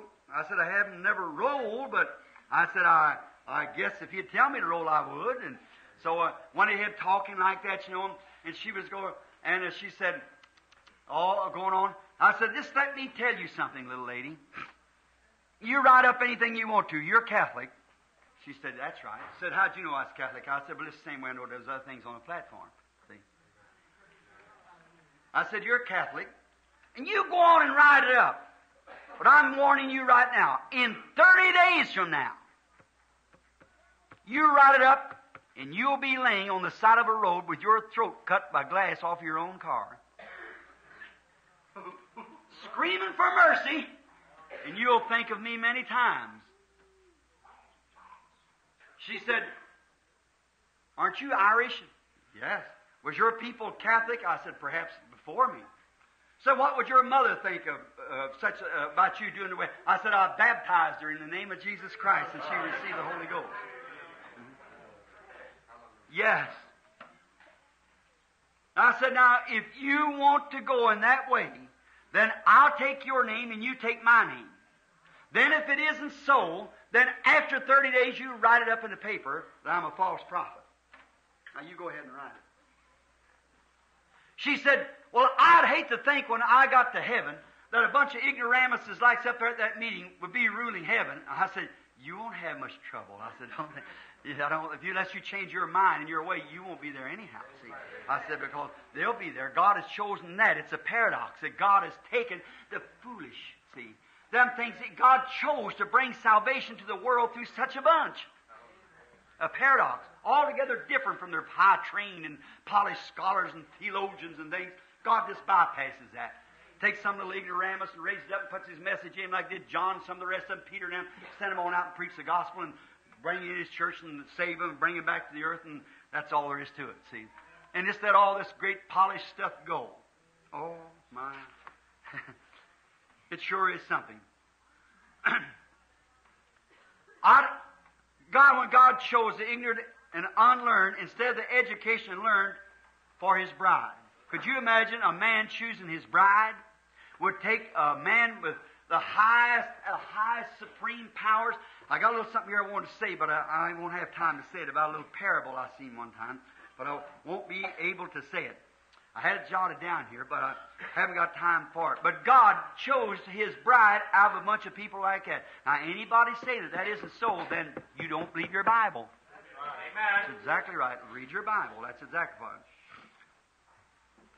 It was a real paradox when God chose the foolishness of inspired preaching instead of high polished theology. A man that don't know how to use hit, ain't, tote, fetch, carry, all such words as that, and, and say all kinds of uh, things uh, out of his grammar and ungrammarized and everything else like that. And God chose that instead of taking the great scholarly, polished, who can really pronounce the words and say it just right, but it ple- pleased God to take the foolishness of inspired preaching. Some of the little plowboy don't know his ABCs. And take that man and win souls by him when deceivers all polished up is lead him blind leading the blind. A real paradox. Oh, the words are full of it. Many contexts here or texts I have to um, bypass. It's true that the big church shines and glitters with polished theology, while the kingdom glows with humble. The poor and humble. The gospel don't shine, it glows. Fool's gold shines, real gold glows. There's a difference between a glow and a shine. We know that. While the big church glitters and shines with high polished scholars, fine pews, crucifix all over the wall, and the highest of, finest of structures and buildings, and great towering things, all like that. The little kingdom down in some little alley like here somewhere is glowing with the glory of God, filled with the humble and heart. God working in them, healing the sick and raising the dead and casting out devils and so forth like that. Just letting them pass on by. There was a great ministerial, don't you forget this. There was a great ministerial meeting here some time ago in a certain city where some people from right here was at the meeting. And they had a certain man who was going to, oh, he was a theologian. He had the message for the day for the people. And he'd studied for two or three weeks on it. That was all right. And when he walked up to the platform, not a wrinkle in his clothes, my, with the finest of uh, things on, you know, walked up there and stuck out his chest and laid all his, his material out for his message. And he really preached a hour's message that could not be touched intellectually. Oh, how he stuck out his chest and took the name of LL Doctor so and so from a certain big school that was so highly polished and scholar that he brought such a masterpiece to the people of psychology and things that it was wonderful. But the Christian sitting there just like at the Nicene Council, it just grieved the Spirit. Well, it was a masterpiece, sure. Yes, sir, it had all the polish on it could be. But the real spirit-filled people just, it just didn't go. There was no spirit there to back it up. So when he come down, he had his head ducked down. He seen it didn't go over right. He was from another school and he's with Pentecostal people. So when he come down off the platform, his feathers has dropped down. Started walking down through there all his stuff under his arm like this, walking down through the congregation. There was a wise old saint sitting over on the right hand side, reached over to another man and said, if he would have went up the way that he come down, he would have come down the way he went up. That's it! Amen. Hallelujah. If you'd have went up humble, you'd have probably come down filled with the glory. If he would have went up the way he come down, he would have come down the way he went up. Amen. It's right. A paradox. Listen, in closing now, just for a moment for the prayer line, I want to say another word about too about paradox. The old prophets' visions is still a paradox. Amen. It's untouched. Who can say that a man 4,000 years ago could spoke of the horseless carriages jostling through the broadways against one another? Amen. The Old Testament prophets How they could foresee things and foretell it. Lifted up with the power of God that saw it way in the years to come and foretold it to the accuracy of perfection. Amen. Explain it. It's a paradox. Oh. Another one. I want to give you a little one, insignificant. But my conversion was a paradox. I say this with love and respect. My parents has gone on. My mother's people were all sinners. Trappers, hunters, mountain people. My father's people were all drunkards. Bootleggers, gamblers, gun shooters, killing one another. Most all of them died with their shoes on. There wasn't a speck of religion anyway to us. And how did God?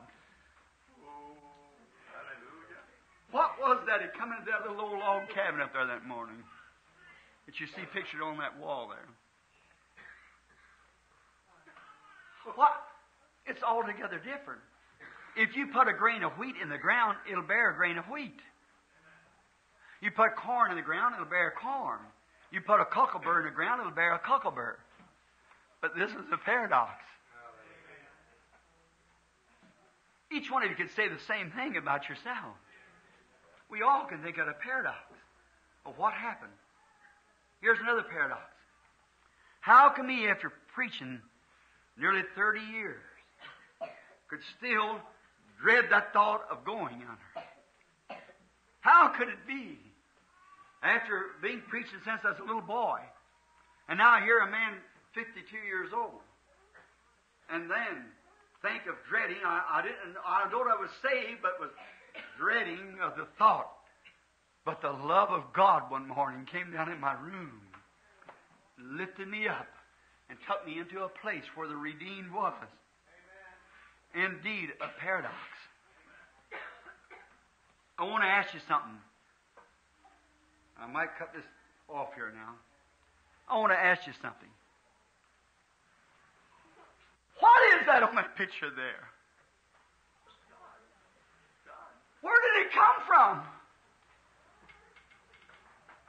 What's it here for? Science can't deny it. What is it in the meeting that stands there and combs the people through and tells them? Back counter what you did. You're here for this purpose. You're here for that. It's incredible to the scientific mind. Now we know telepathy. Telepathy is say something like you're saying something and I can say the same thing, see? Or I'm reading your mind. It's happening right then. But when you see, then it tells things that'll happen way out yonder. Amen. That leaves telepathy alone. Amen. It's incredible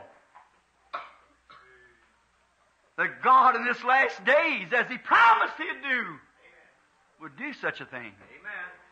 But it's true. It's a paradox. The same God that's always had paradoxes showed him He's the same God today because He keeps His word. Science cannot deny it. There it is. On the mechanical camera. It's a paradox. God. What is it? And in Exodus, the 13th chapter, we read that God gave the children of Israel, which was a type of the church today, as they journeyed naturally, we're journeying in the Spirit. Next Sunday, we're taking that now. Remember, all on that, see? Now, how that that where they are went on the ground materially like this, and God was with them, the church is seated with Christ in heavenly places and the spiritual realms are going, with all dominions under our feet. Hallelujah. Yes, sir. And they had a pillar of fire, a light that they followed. Wherever this light went, they followed that light.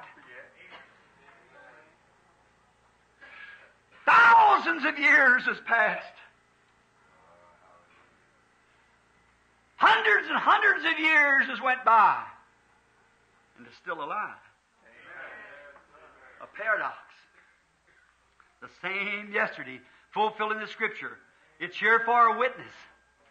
Not because of us, but because that God promised it. That Jesus Christ is the same yesterday, today, and forever. Hallelujah. It was the one that Moses esteemed the riches of Christ, of the reproach of Christ, greater riches than the treasures of Egypt. And what was the Christ that went before him? A light, a pillar of fire. He said, I come from God and I return to God. He did. A little while and the world won't see me no more, yet you shall see me. For I'll be with you, even in you, to the end of the world. Right down at the end of the world, He'd be there too. Here we are! After his death, burial, and resurrection, St. Paul met him on the road down to Damascus. He was back to that pillar of fire. Almost 2,000 years has passed since then, and here he is. Oh, amen. Not amongst the denominations, No. not a bunch of high polished scholars of the day, but a bunch of poor and humble. A paradox. A paradox. To those who love him, believe him, thousands around the world who believed him. It's to fulfill his promise of both New and Old Testament. That's what it is, but it's a paradox. It was a paradox when God promised to give the kingdom to a little flock instead of a great organized church. Fear not, little flock. It's your Father's good will to give you the kingdom. It will, it's a paradox. It's a paradox. It'll be a real paradox. One of these days when Jesus comes. And the dead in Christ shall rise. This mortal takes on immortality and the rapture of the church comes. And this Christmas times when people are shopping and dancing and drinking and celebrating something that they know nothing about, like it was celebrating Washington or Lincoln's birthday, and not worshiping the, they still got God in a manger. When God's not in a manger, He's raised from the dead and alive forevermore. Living among us, proving himself as the same God that the Nicene fathers carried and down through the ages has come since the day of Pentecost, the same God that met Paul on the road to Damascus. He was a missionary to the Gentile and a messenger from God to the Gentiles. The Gentiles' message started by visitation of the pillar of fire. And it ends the same way. The Gentile kingdom started off. The kingdom of the world, that's the world, started off with a rebuke from a heavenly language. In the days of King Nebuchadnezzar, ends up the same thing as the Holy Ghost poured out upon the Gentile church in the last days to rebuke the Gentile nations again with a handwriting on the wall. The handwriting on the wall that God has prepared His church. He's prepared His people. He's prepared His place. And they're waiting for Him to come. And that rapture, when the trumpet of God shall sound and the dead in Christ shall rise, we which are alive and remain shall not hinder them that's asleep. For the trumpet of God shall sound, the dead in Christ shall rise, and we shall be caught up together with them to meet the Lord in the air. A paradox one of these mornings. When the graves open and the dead walks out. When the ones who are living will be changed in a moment of a twinkling of an eye and go up in the air to meet Him. The whole thing is a paradox. God moving amongst His people. Do you believe that? Amen. Let us bow our heads for a word of prayer. God, now for over an hour and about an hour and ten minutes, we have stood here speaking of past and present events, of how the Holy Spirit dividing them, Lord, as the Word of God has so graciously did, showing that the very God of heaven who lived in the old days in the same form, in the same way, lives today. The same wonders and the same power that was upon the prophets of old, that was upon the church at Pentecost, was upon the Hannah and upon Agabus, the prophets of the New Testament in that day who even corrected St. Paul. And St. Paul got in trouble by not listening to Agabus, Because Antipas, though he was an apostle, Paul was, but Antipas had the word of the Lord. And he warned him not to go up there. But Paul was determined to go, and then he got in trouble. And Father, always we get in trouble if we disobey the Word of God. We see that the very God that was with those brethren there is the same God today. We see Him in every manifestation. And it is a paradox, Lord. The world looks and shakes her head and says there's nothing to it. The believer accepts it and embraces it and knows that it's a living God. Oh, Father, we pray this morning that if there would be someone among us who has not yet been a believer, that this will be the hour that they will believe.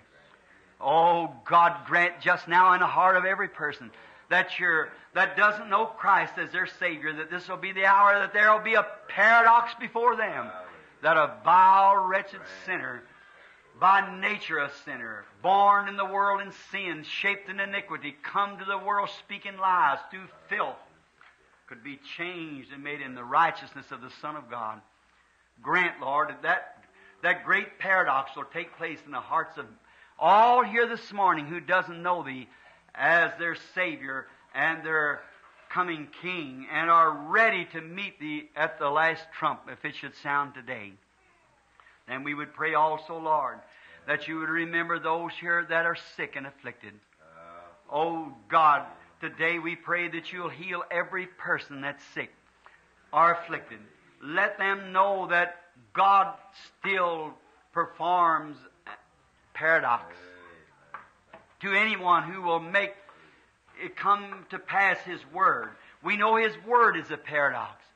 When it promises something so unreal to the world, something that they cannot uh, prescribe to. It, it's something beyond their knowledge and, and understanding, but when a simple heart will take that word and sink it into the depths of its being, then that word produces the life facts of that promise. Oh, how we thank Thee for this. That there is simple people that believe this message. We're not looking for a kingdom to where that atomic ages will rule, but we're looking for a kingdom that Christ will rule in the power and majesty of peace and glory upon the earth. Not where we will press our feet to automobile gas pedals or fly through the air with jet planes, but where we'll sit around the throne of the living God. Oh, and look upon him and see the one who was wounded for our transgressions and bruised for our iniquity. The chastisement of our peace upon him, and with whose stripes we were healed. Our heart's desire, Lord, since the great paradox has come to us, that we will reach him and sit with him uh, at that day.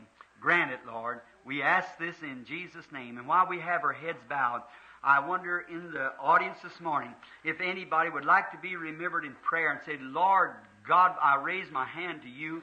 And Brother Branham, you're going to look and see my hand and pray for me that a great paradox will take place in my heart that when I'll meet Christ in the baptism of the Spirit and the power of His resurrection, God bless you, each and every one. That's fine. I'll meet God. God be with you. I'll meet Him and a great paradox will take place in my life and I'll be filled with His power and His glory and the goodness and mercy of Him that liveth forever and ever. And someday I'll be included in that paradox that's coming. Something is when the dust of those prophets lays yonder in the earth, when the dust of the martyrs who were eat up by lions and with the dung of the lions is spread across the dust and all over the earth, but yet Christ will raise that body again. It goes to show that He is the resurrection. When He took a little mud from His hands and put them on the eyes of a man who never had eyes, showed that man was made from the dust of the earth. And He returned with eyeballs and could see the Creator that made Him.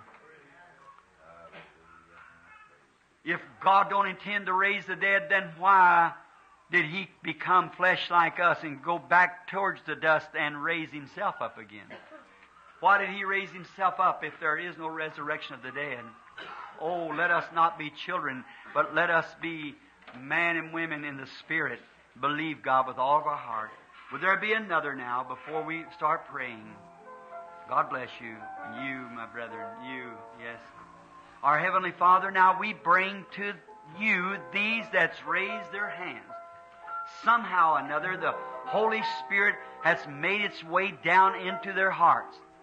They're telling them, you are not here just to eat and drink and, and to sleep and to get up and work and then go back, eat and drink and sleep again. You are here to be sons and daughters of God. You are here to take your position and place in Christ. And I am here this morning to call you, would say the Holy Spirit to their life. Father, with prayer, the only weapon that I know of, I present them to you. And I, I defy the enemy that would keep them from you. I place by faith the blood of Jesus Christ between the enemy and them that would keep them from this glorious experience of this great paradox of receiving the Holy Spirit and having eternal life. For we realize that's the only, only thing that there is, the only solution that's given to us for eternal life is to have God's life in us, then it's eternal life in us. Grant it, Lord, that it'll happen to everyone who raised their hands, and perhaps those who did not have the courage to raise their hands. Grant it to them also. Now, Father, they are yours. I present them to you in the name of Jesus Christ. And now, as the prayer line is to be formed, Father, I don't know who will be coming up here, but give us another paradox this morning, Lord. May some great mysterious power of God move down and do something as you promised. And this will be my first time, Lord, since the meeting with you the other day. I pray now that you will grant the request of the people. Through Jesus' name. Amen. Now, I wish that everyone would just be seated if you can for just a moment. Now, anyone that has a prayer card, Billy come down this morning as he promised he would and gave out prayer cards to some people here. He said there wasn't very many. Would you raise up your hands, the ones that's got prayer cards? All right. I wonder if you just take your place and stand right along here. Uh, those who have prayer cards. Where Billy, where you at? All right. Stand right along here.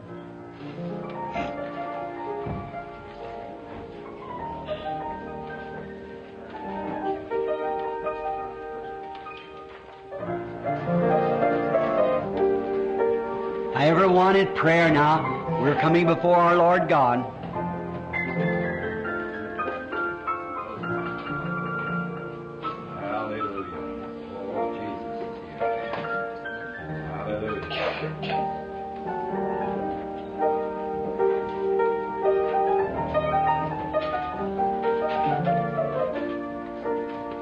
Now let's sing that song with the music, if you will. It's Sister Arnold. All together now, quietly. Only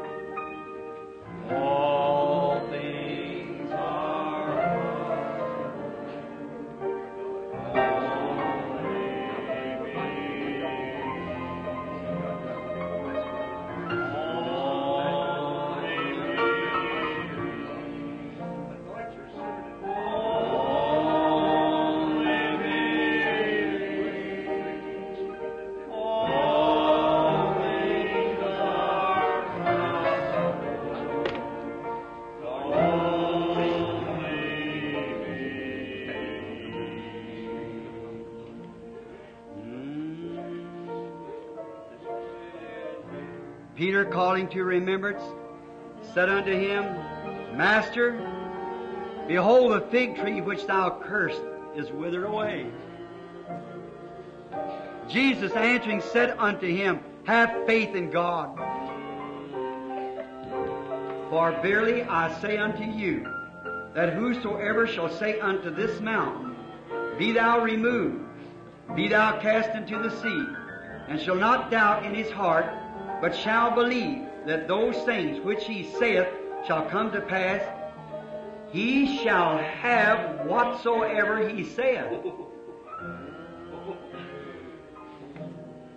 Therefore I say unto you, that what things soever you desire, when you pray, believe that you receive them, and you shall have them. Jesus said once, when they couldn't understand that he was who he was, he said, if you can't believe me, believe the works that I do.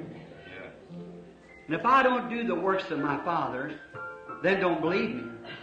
But if I do the works of my Father, then you believe the works. I've got just through this morning bringing the message of, of a paradox.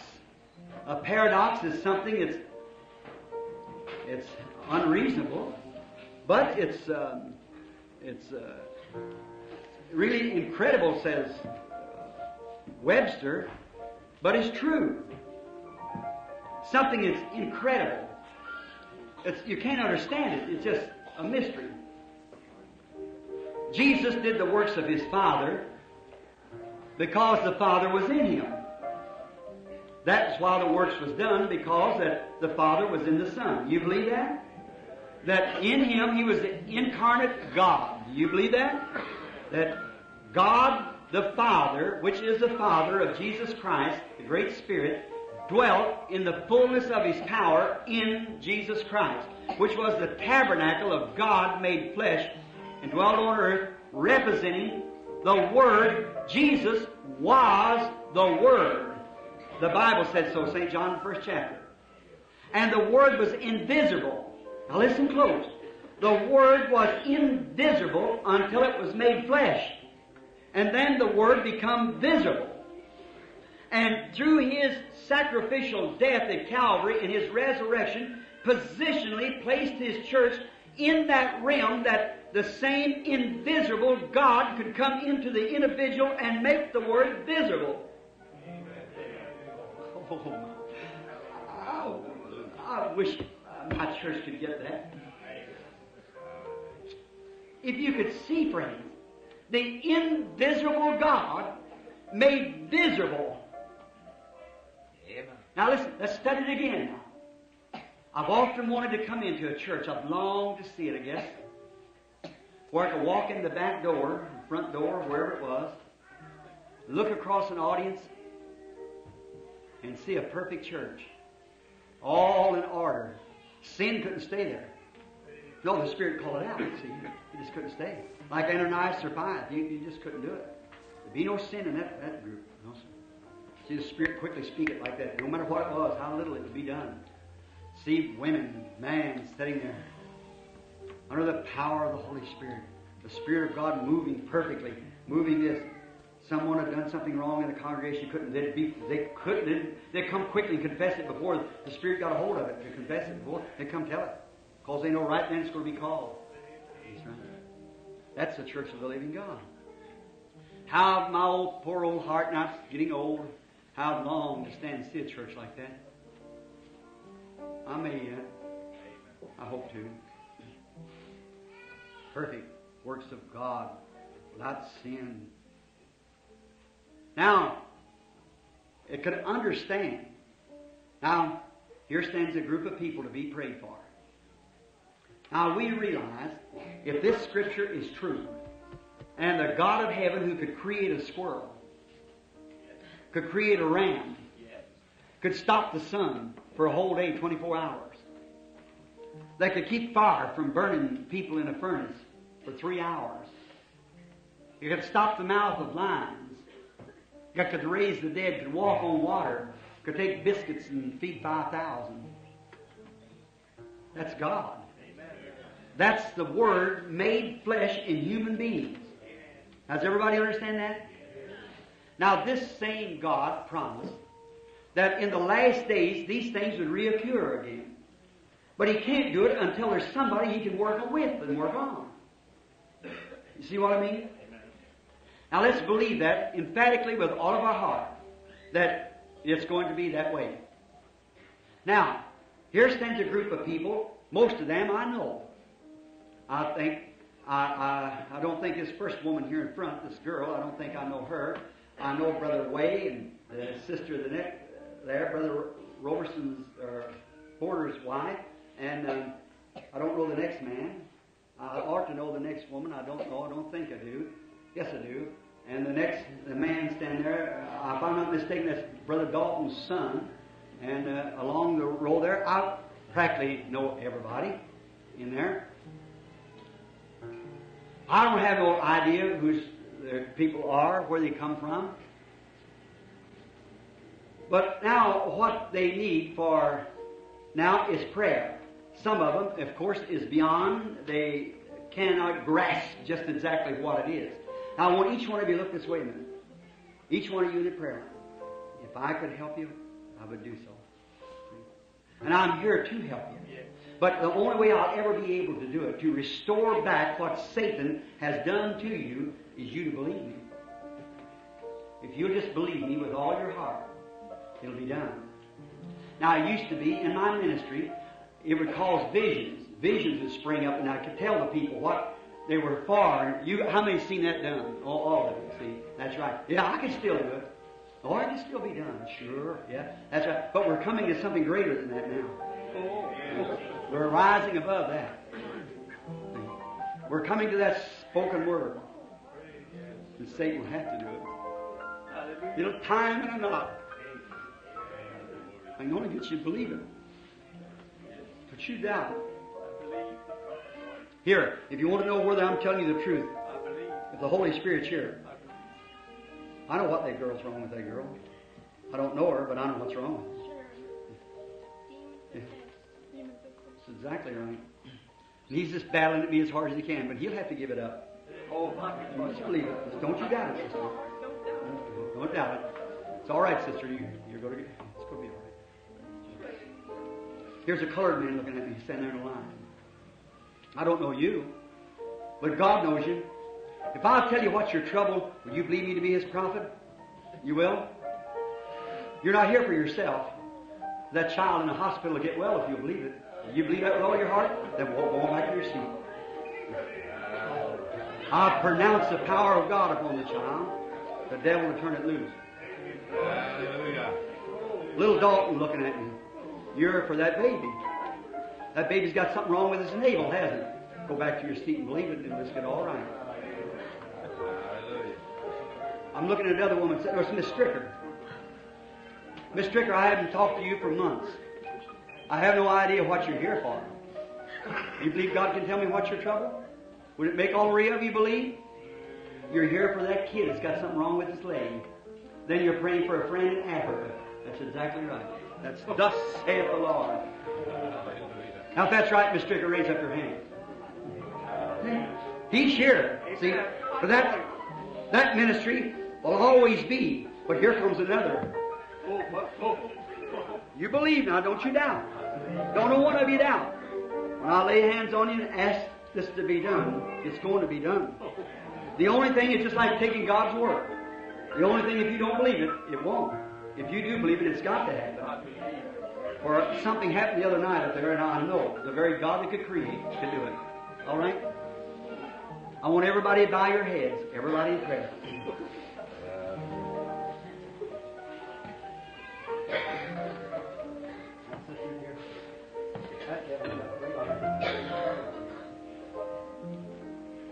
Proud devil that's bound Sharon, this lovely little girl. The God who gave you the vision the other night of that devil being bound and said in sincerity you could bind him, and the sincerity in my heart for this child. I come, Lord, to ask mercy and favor of you for her. Satan, I bind thee in the name of Jesus Christ. Leave this child. Her mind and the reasons will come back to her normally. So the word has been spoken, so shall it be done. In the name of Jesus Christ. Lord God, for my brother Wayne, may the power of Jesus Christ bind the power of the devil that binds my brother and set him free in the name of Jesus Christ. God, this poor little woman would be like the first one here in a few weeks if something isn't done for her.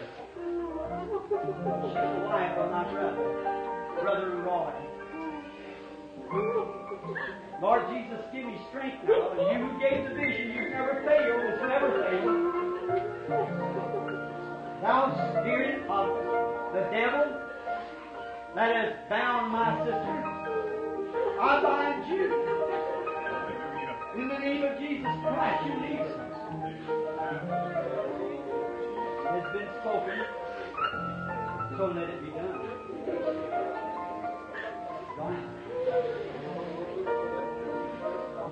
In the name of the Lord Jesus, delivering our sister from her trouble. In the name of Christ who promised and gave the promise, would you say to this mountain,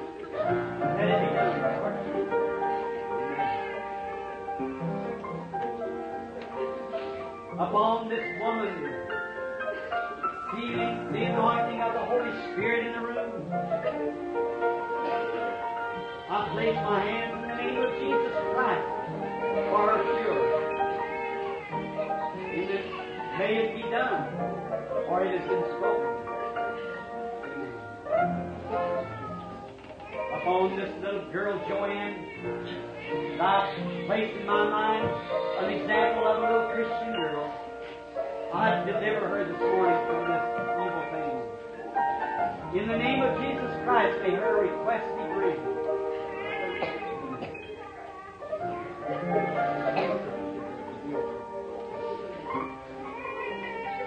Lord God, upon this, the companion of my beloved brother, Sister on my hand that evil one that would bind her, may he be bound. In the name of Jesus Christ, may she be free.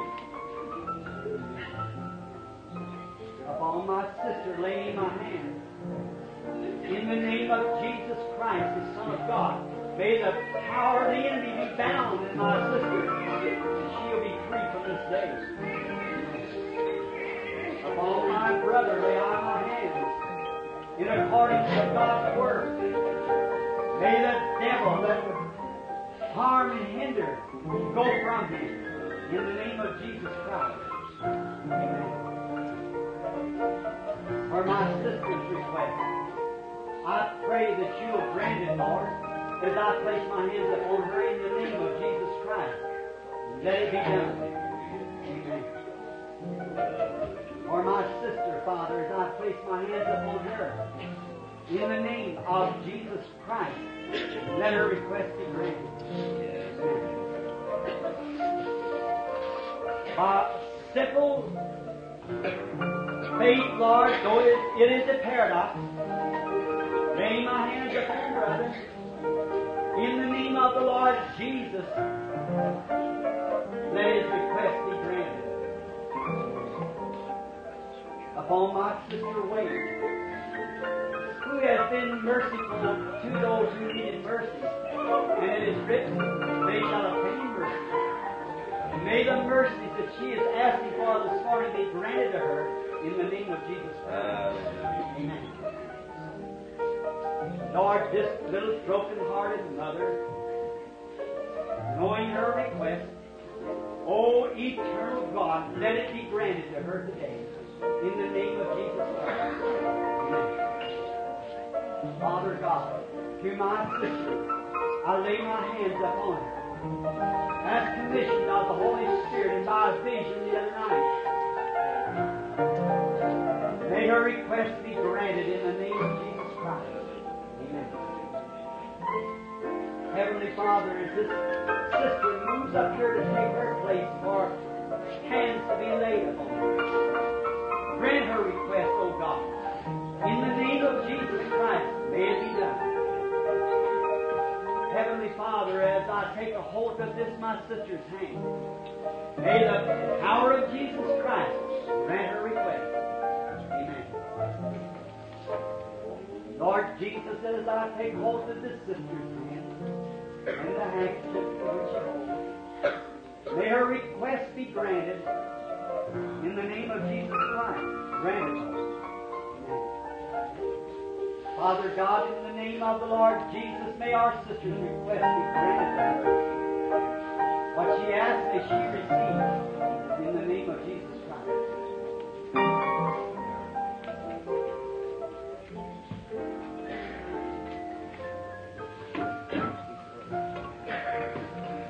Baby.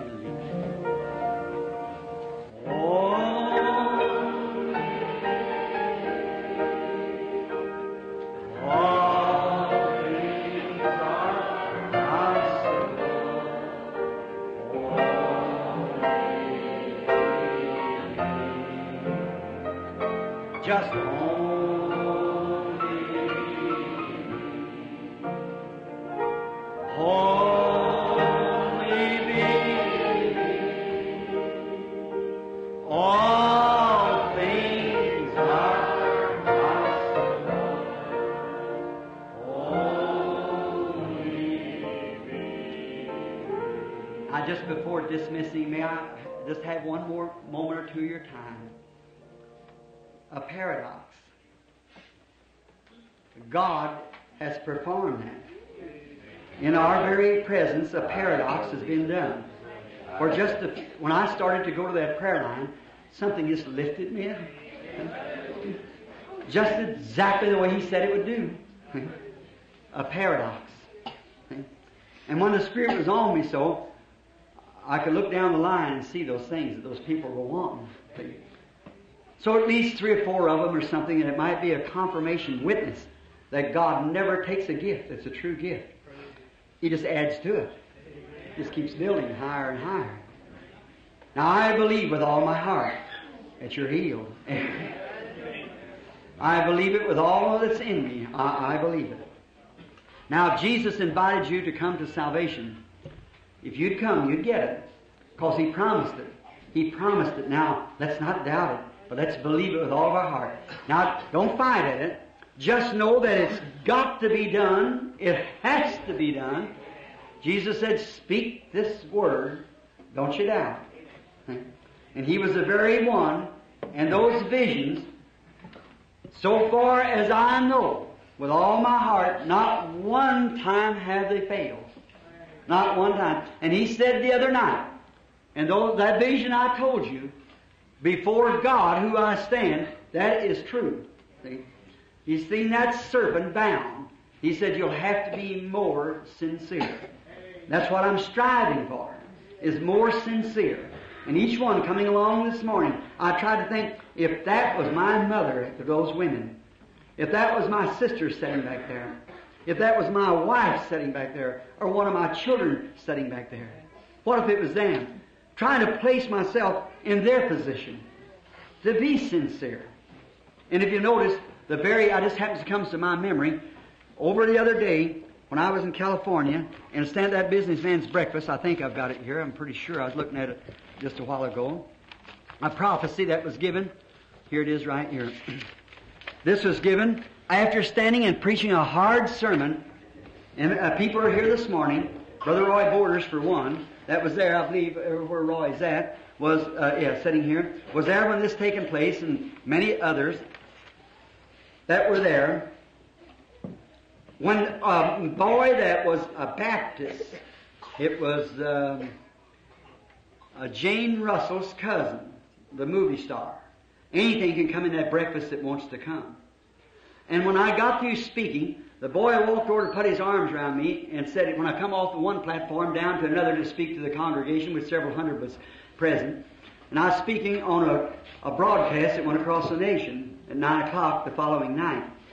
It was being taped then. And when this, uh, I stepped down on this next level to speak another time to these people here, and one of the great denominations had, one of their great men was standing there and was resenting the message. See, by saying, I was talking about I was over in Phoenix a few days before that and seen several different fruits growing on one tree. I seen on an orange tree it was grapefruit, lemons, and uh, I believe tangerines and tangelos and all them different things growing because it's a citrus tree. But I said every year it blooms and puts forth new fruits. But there's only those original branches. When it when the real tree itself brings forth another branch, it puts out the same kind of fruit that it is in stalk. But these other trees are bearing their fruit, although they're living off the, the life of this tree. I said that's like organizations being placed into the vine. Jesus said, "I'm the vine." And every time that vine puts forth a branch, it'll be just like the vine. so you'll have the same fruit. Well, this great minister of the biggest Pentecostal organization we had was standing there and resented it. See, said that I didn't mean it that way, but I got back and said I do mean it that way. Amen. I said exactly. I take nothing back. The other day when I spoke about those altars, not knowing, never seeing that in history, I never have said nothing yet in the platform under inspiration that I ever had to take back. Amen. Uh, you can call that cedar serpent or whatever you wish to, whatever them messages was, or the great harlot that so much kick is against. Just come, won't you come to me with the scriptures with it? See, Amen. see what's right. This man come up there, put his arms around me, and was going to say, he said, Brother Branham, not to be sacrilegious, but that could have made the 23rd chapter of Revelations. You know, another book added. Of course, he said that wouldn't be right. Of course, we're not supposed to add anything to it. Just as he started to say that, he started speaking in tongues. And the boy didn't know what speaking in tongues meant. And as soon as he did, right out in front of me was a French woman from Louisiana. She said that needed no interpretation. That was pure French. And a man over here got up and said, that's right. And way back in the back was the interpreter for the UN. Give his name. Never been there before. He said, correctly, that's right. And here's what they got together, and each one of them had the same thing when they come together, each one of the ones giving the interpretation exactly. And this Frenchman, the second one over here, he wrote it out because he'd been taking minutes of the meeting. Here's what he wrote. I, Victor Delox, am a Frenchman full-blooded, born-again Christian, filled with the Holy Spirit. I live at 809 North King Road, Los Angeles 46. Attend Bethel Temple. Arnie Vick is our pastor, uh, Pentecostal minister, biggest Pentecostal church in Los Angeles. A translation of a prophecy over Brother Branham given by Danny Henry in French, February the 11th, 1961, at the Full Gospel Businessman's Breakfast, a true translation of the prophecy. All three of them said this is it. Because thou hast chosen the narrow path. See, just against, I'd have to walk by yourself. See, I can understand that. Moses had to make his choice too. See, he didn't have to do it, but he did it. See, the harder way.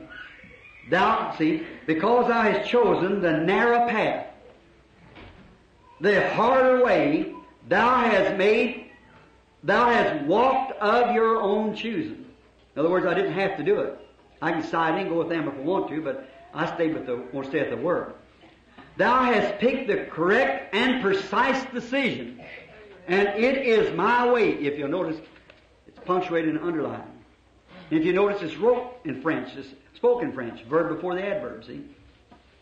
Because of this momentous decision, a huge portion of heaven awaits thee. Now that's what I wonder when I die. Will it be, now I have to think, heaven's not portioned off uh, different portions to us up there. Heaven is a kingdom of heaven that's within us. One waits for. See? Now watch.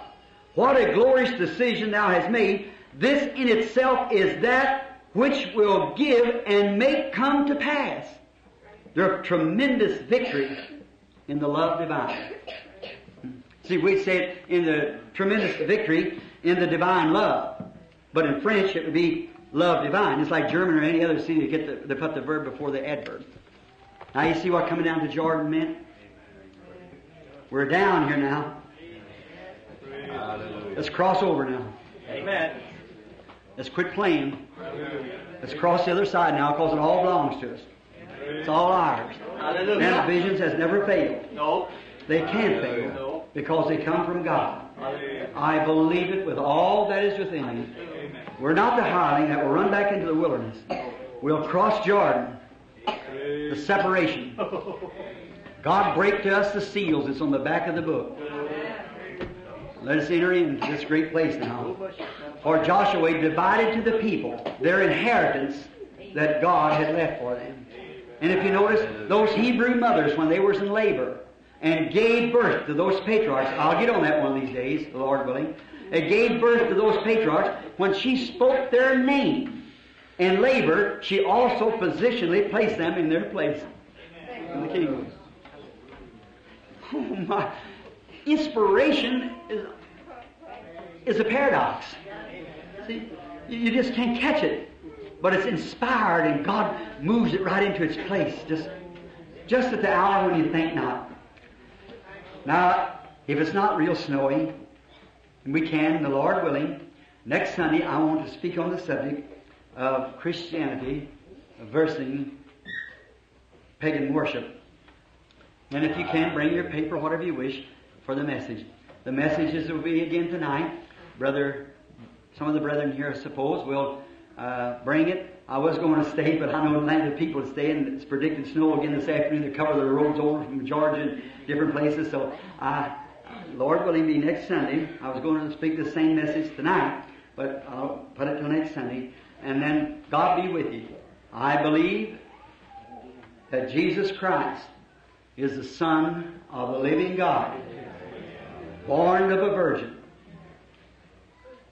conceived God in a womb, a tabernacle in which He would dwell in. I believe that in Christ He is the incarnate God. He is God made flesh. When the Father God came into Jesus Christ, He was the fullness of the Godhead bodily. In Him dwells all the fullness. God the Father spoke the words. Jesus said, It's not me that speaketh, but my Father that dwelleth in me. He doeth the speaking. Therefore, upon that basis, Him being made flesh so He could die, God paying the penalty for the human race to redeem and bring up and and come bring together the things that His own creation had lost in the fall, He redeemed it back with His own life. Then in redeeming these people, that His gospel could go further, the works that I do shall you do also. More than this shall you do, for I go unto the Father. A little while and the world won't see me no more, yet you'll see me, for I'll be with you, even in you, to the end of the world. Now, we're down to the end time. Christ has returned in his form of the Holy Spirit in the fullness of his power into the church to manifest himself. It's simple. It's simple people. If there would be someone here that might be fortunate enough to have a fine education and maybe to go to a big church, do not let the simplicity of this poor class of people stumble you. See, it, it's not that. The common people heard him gladly. It's the common people. Now there's these classes of people. There's some that just don't care, just lives any kind of a life, the, out in the streets and so forth. That's not the ones that heard him. And then classical kind, they wasn't the ones that heard him. It was a, the in-between class. The common people. The ones that's poor yet want to live clean and decent and want to live for God. That's the ones that hear him. So may you and I be that people that'll hear him this day. For I truly believe that one of the greatest things that's ever broke forth in the world is breaking forth now. God bless you. Now turn the service to Brother Neville.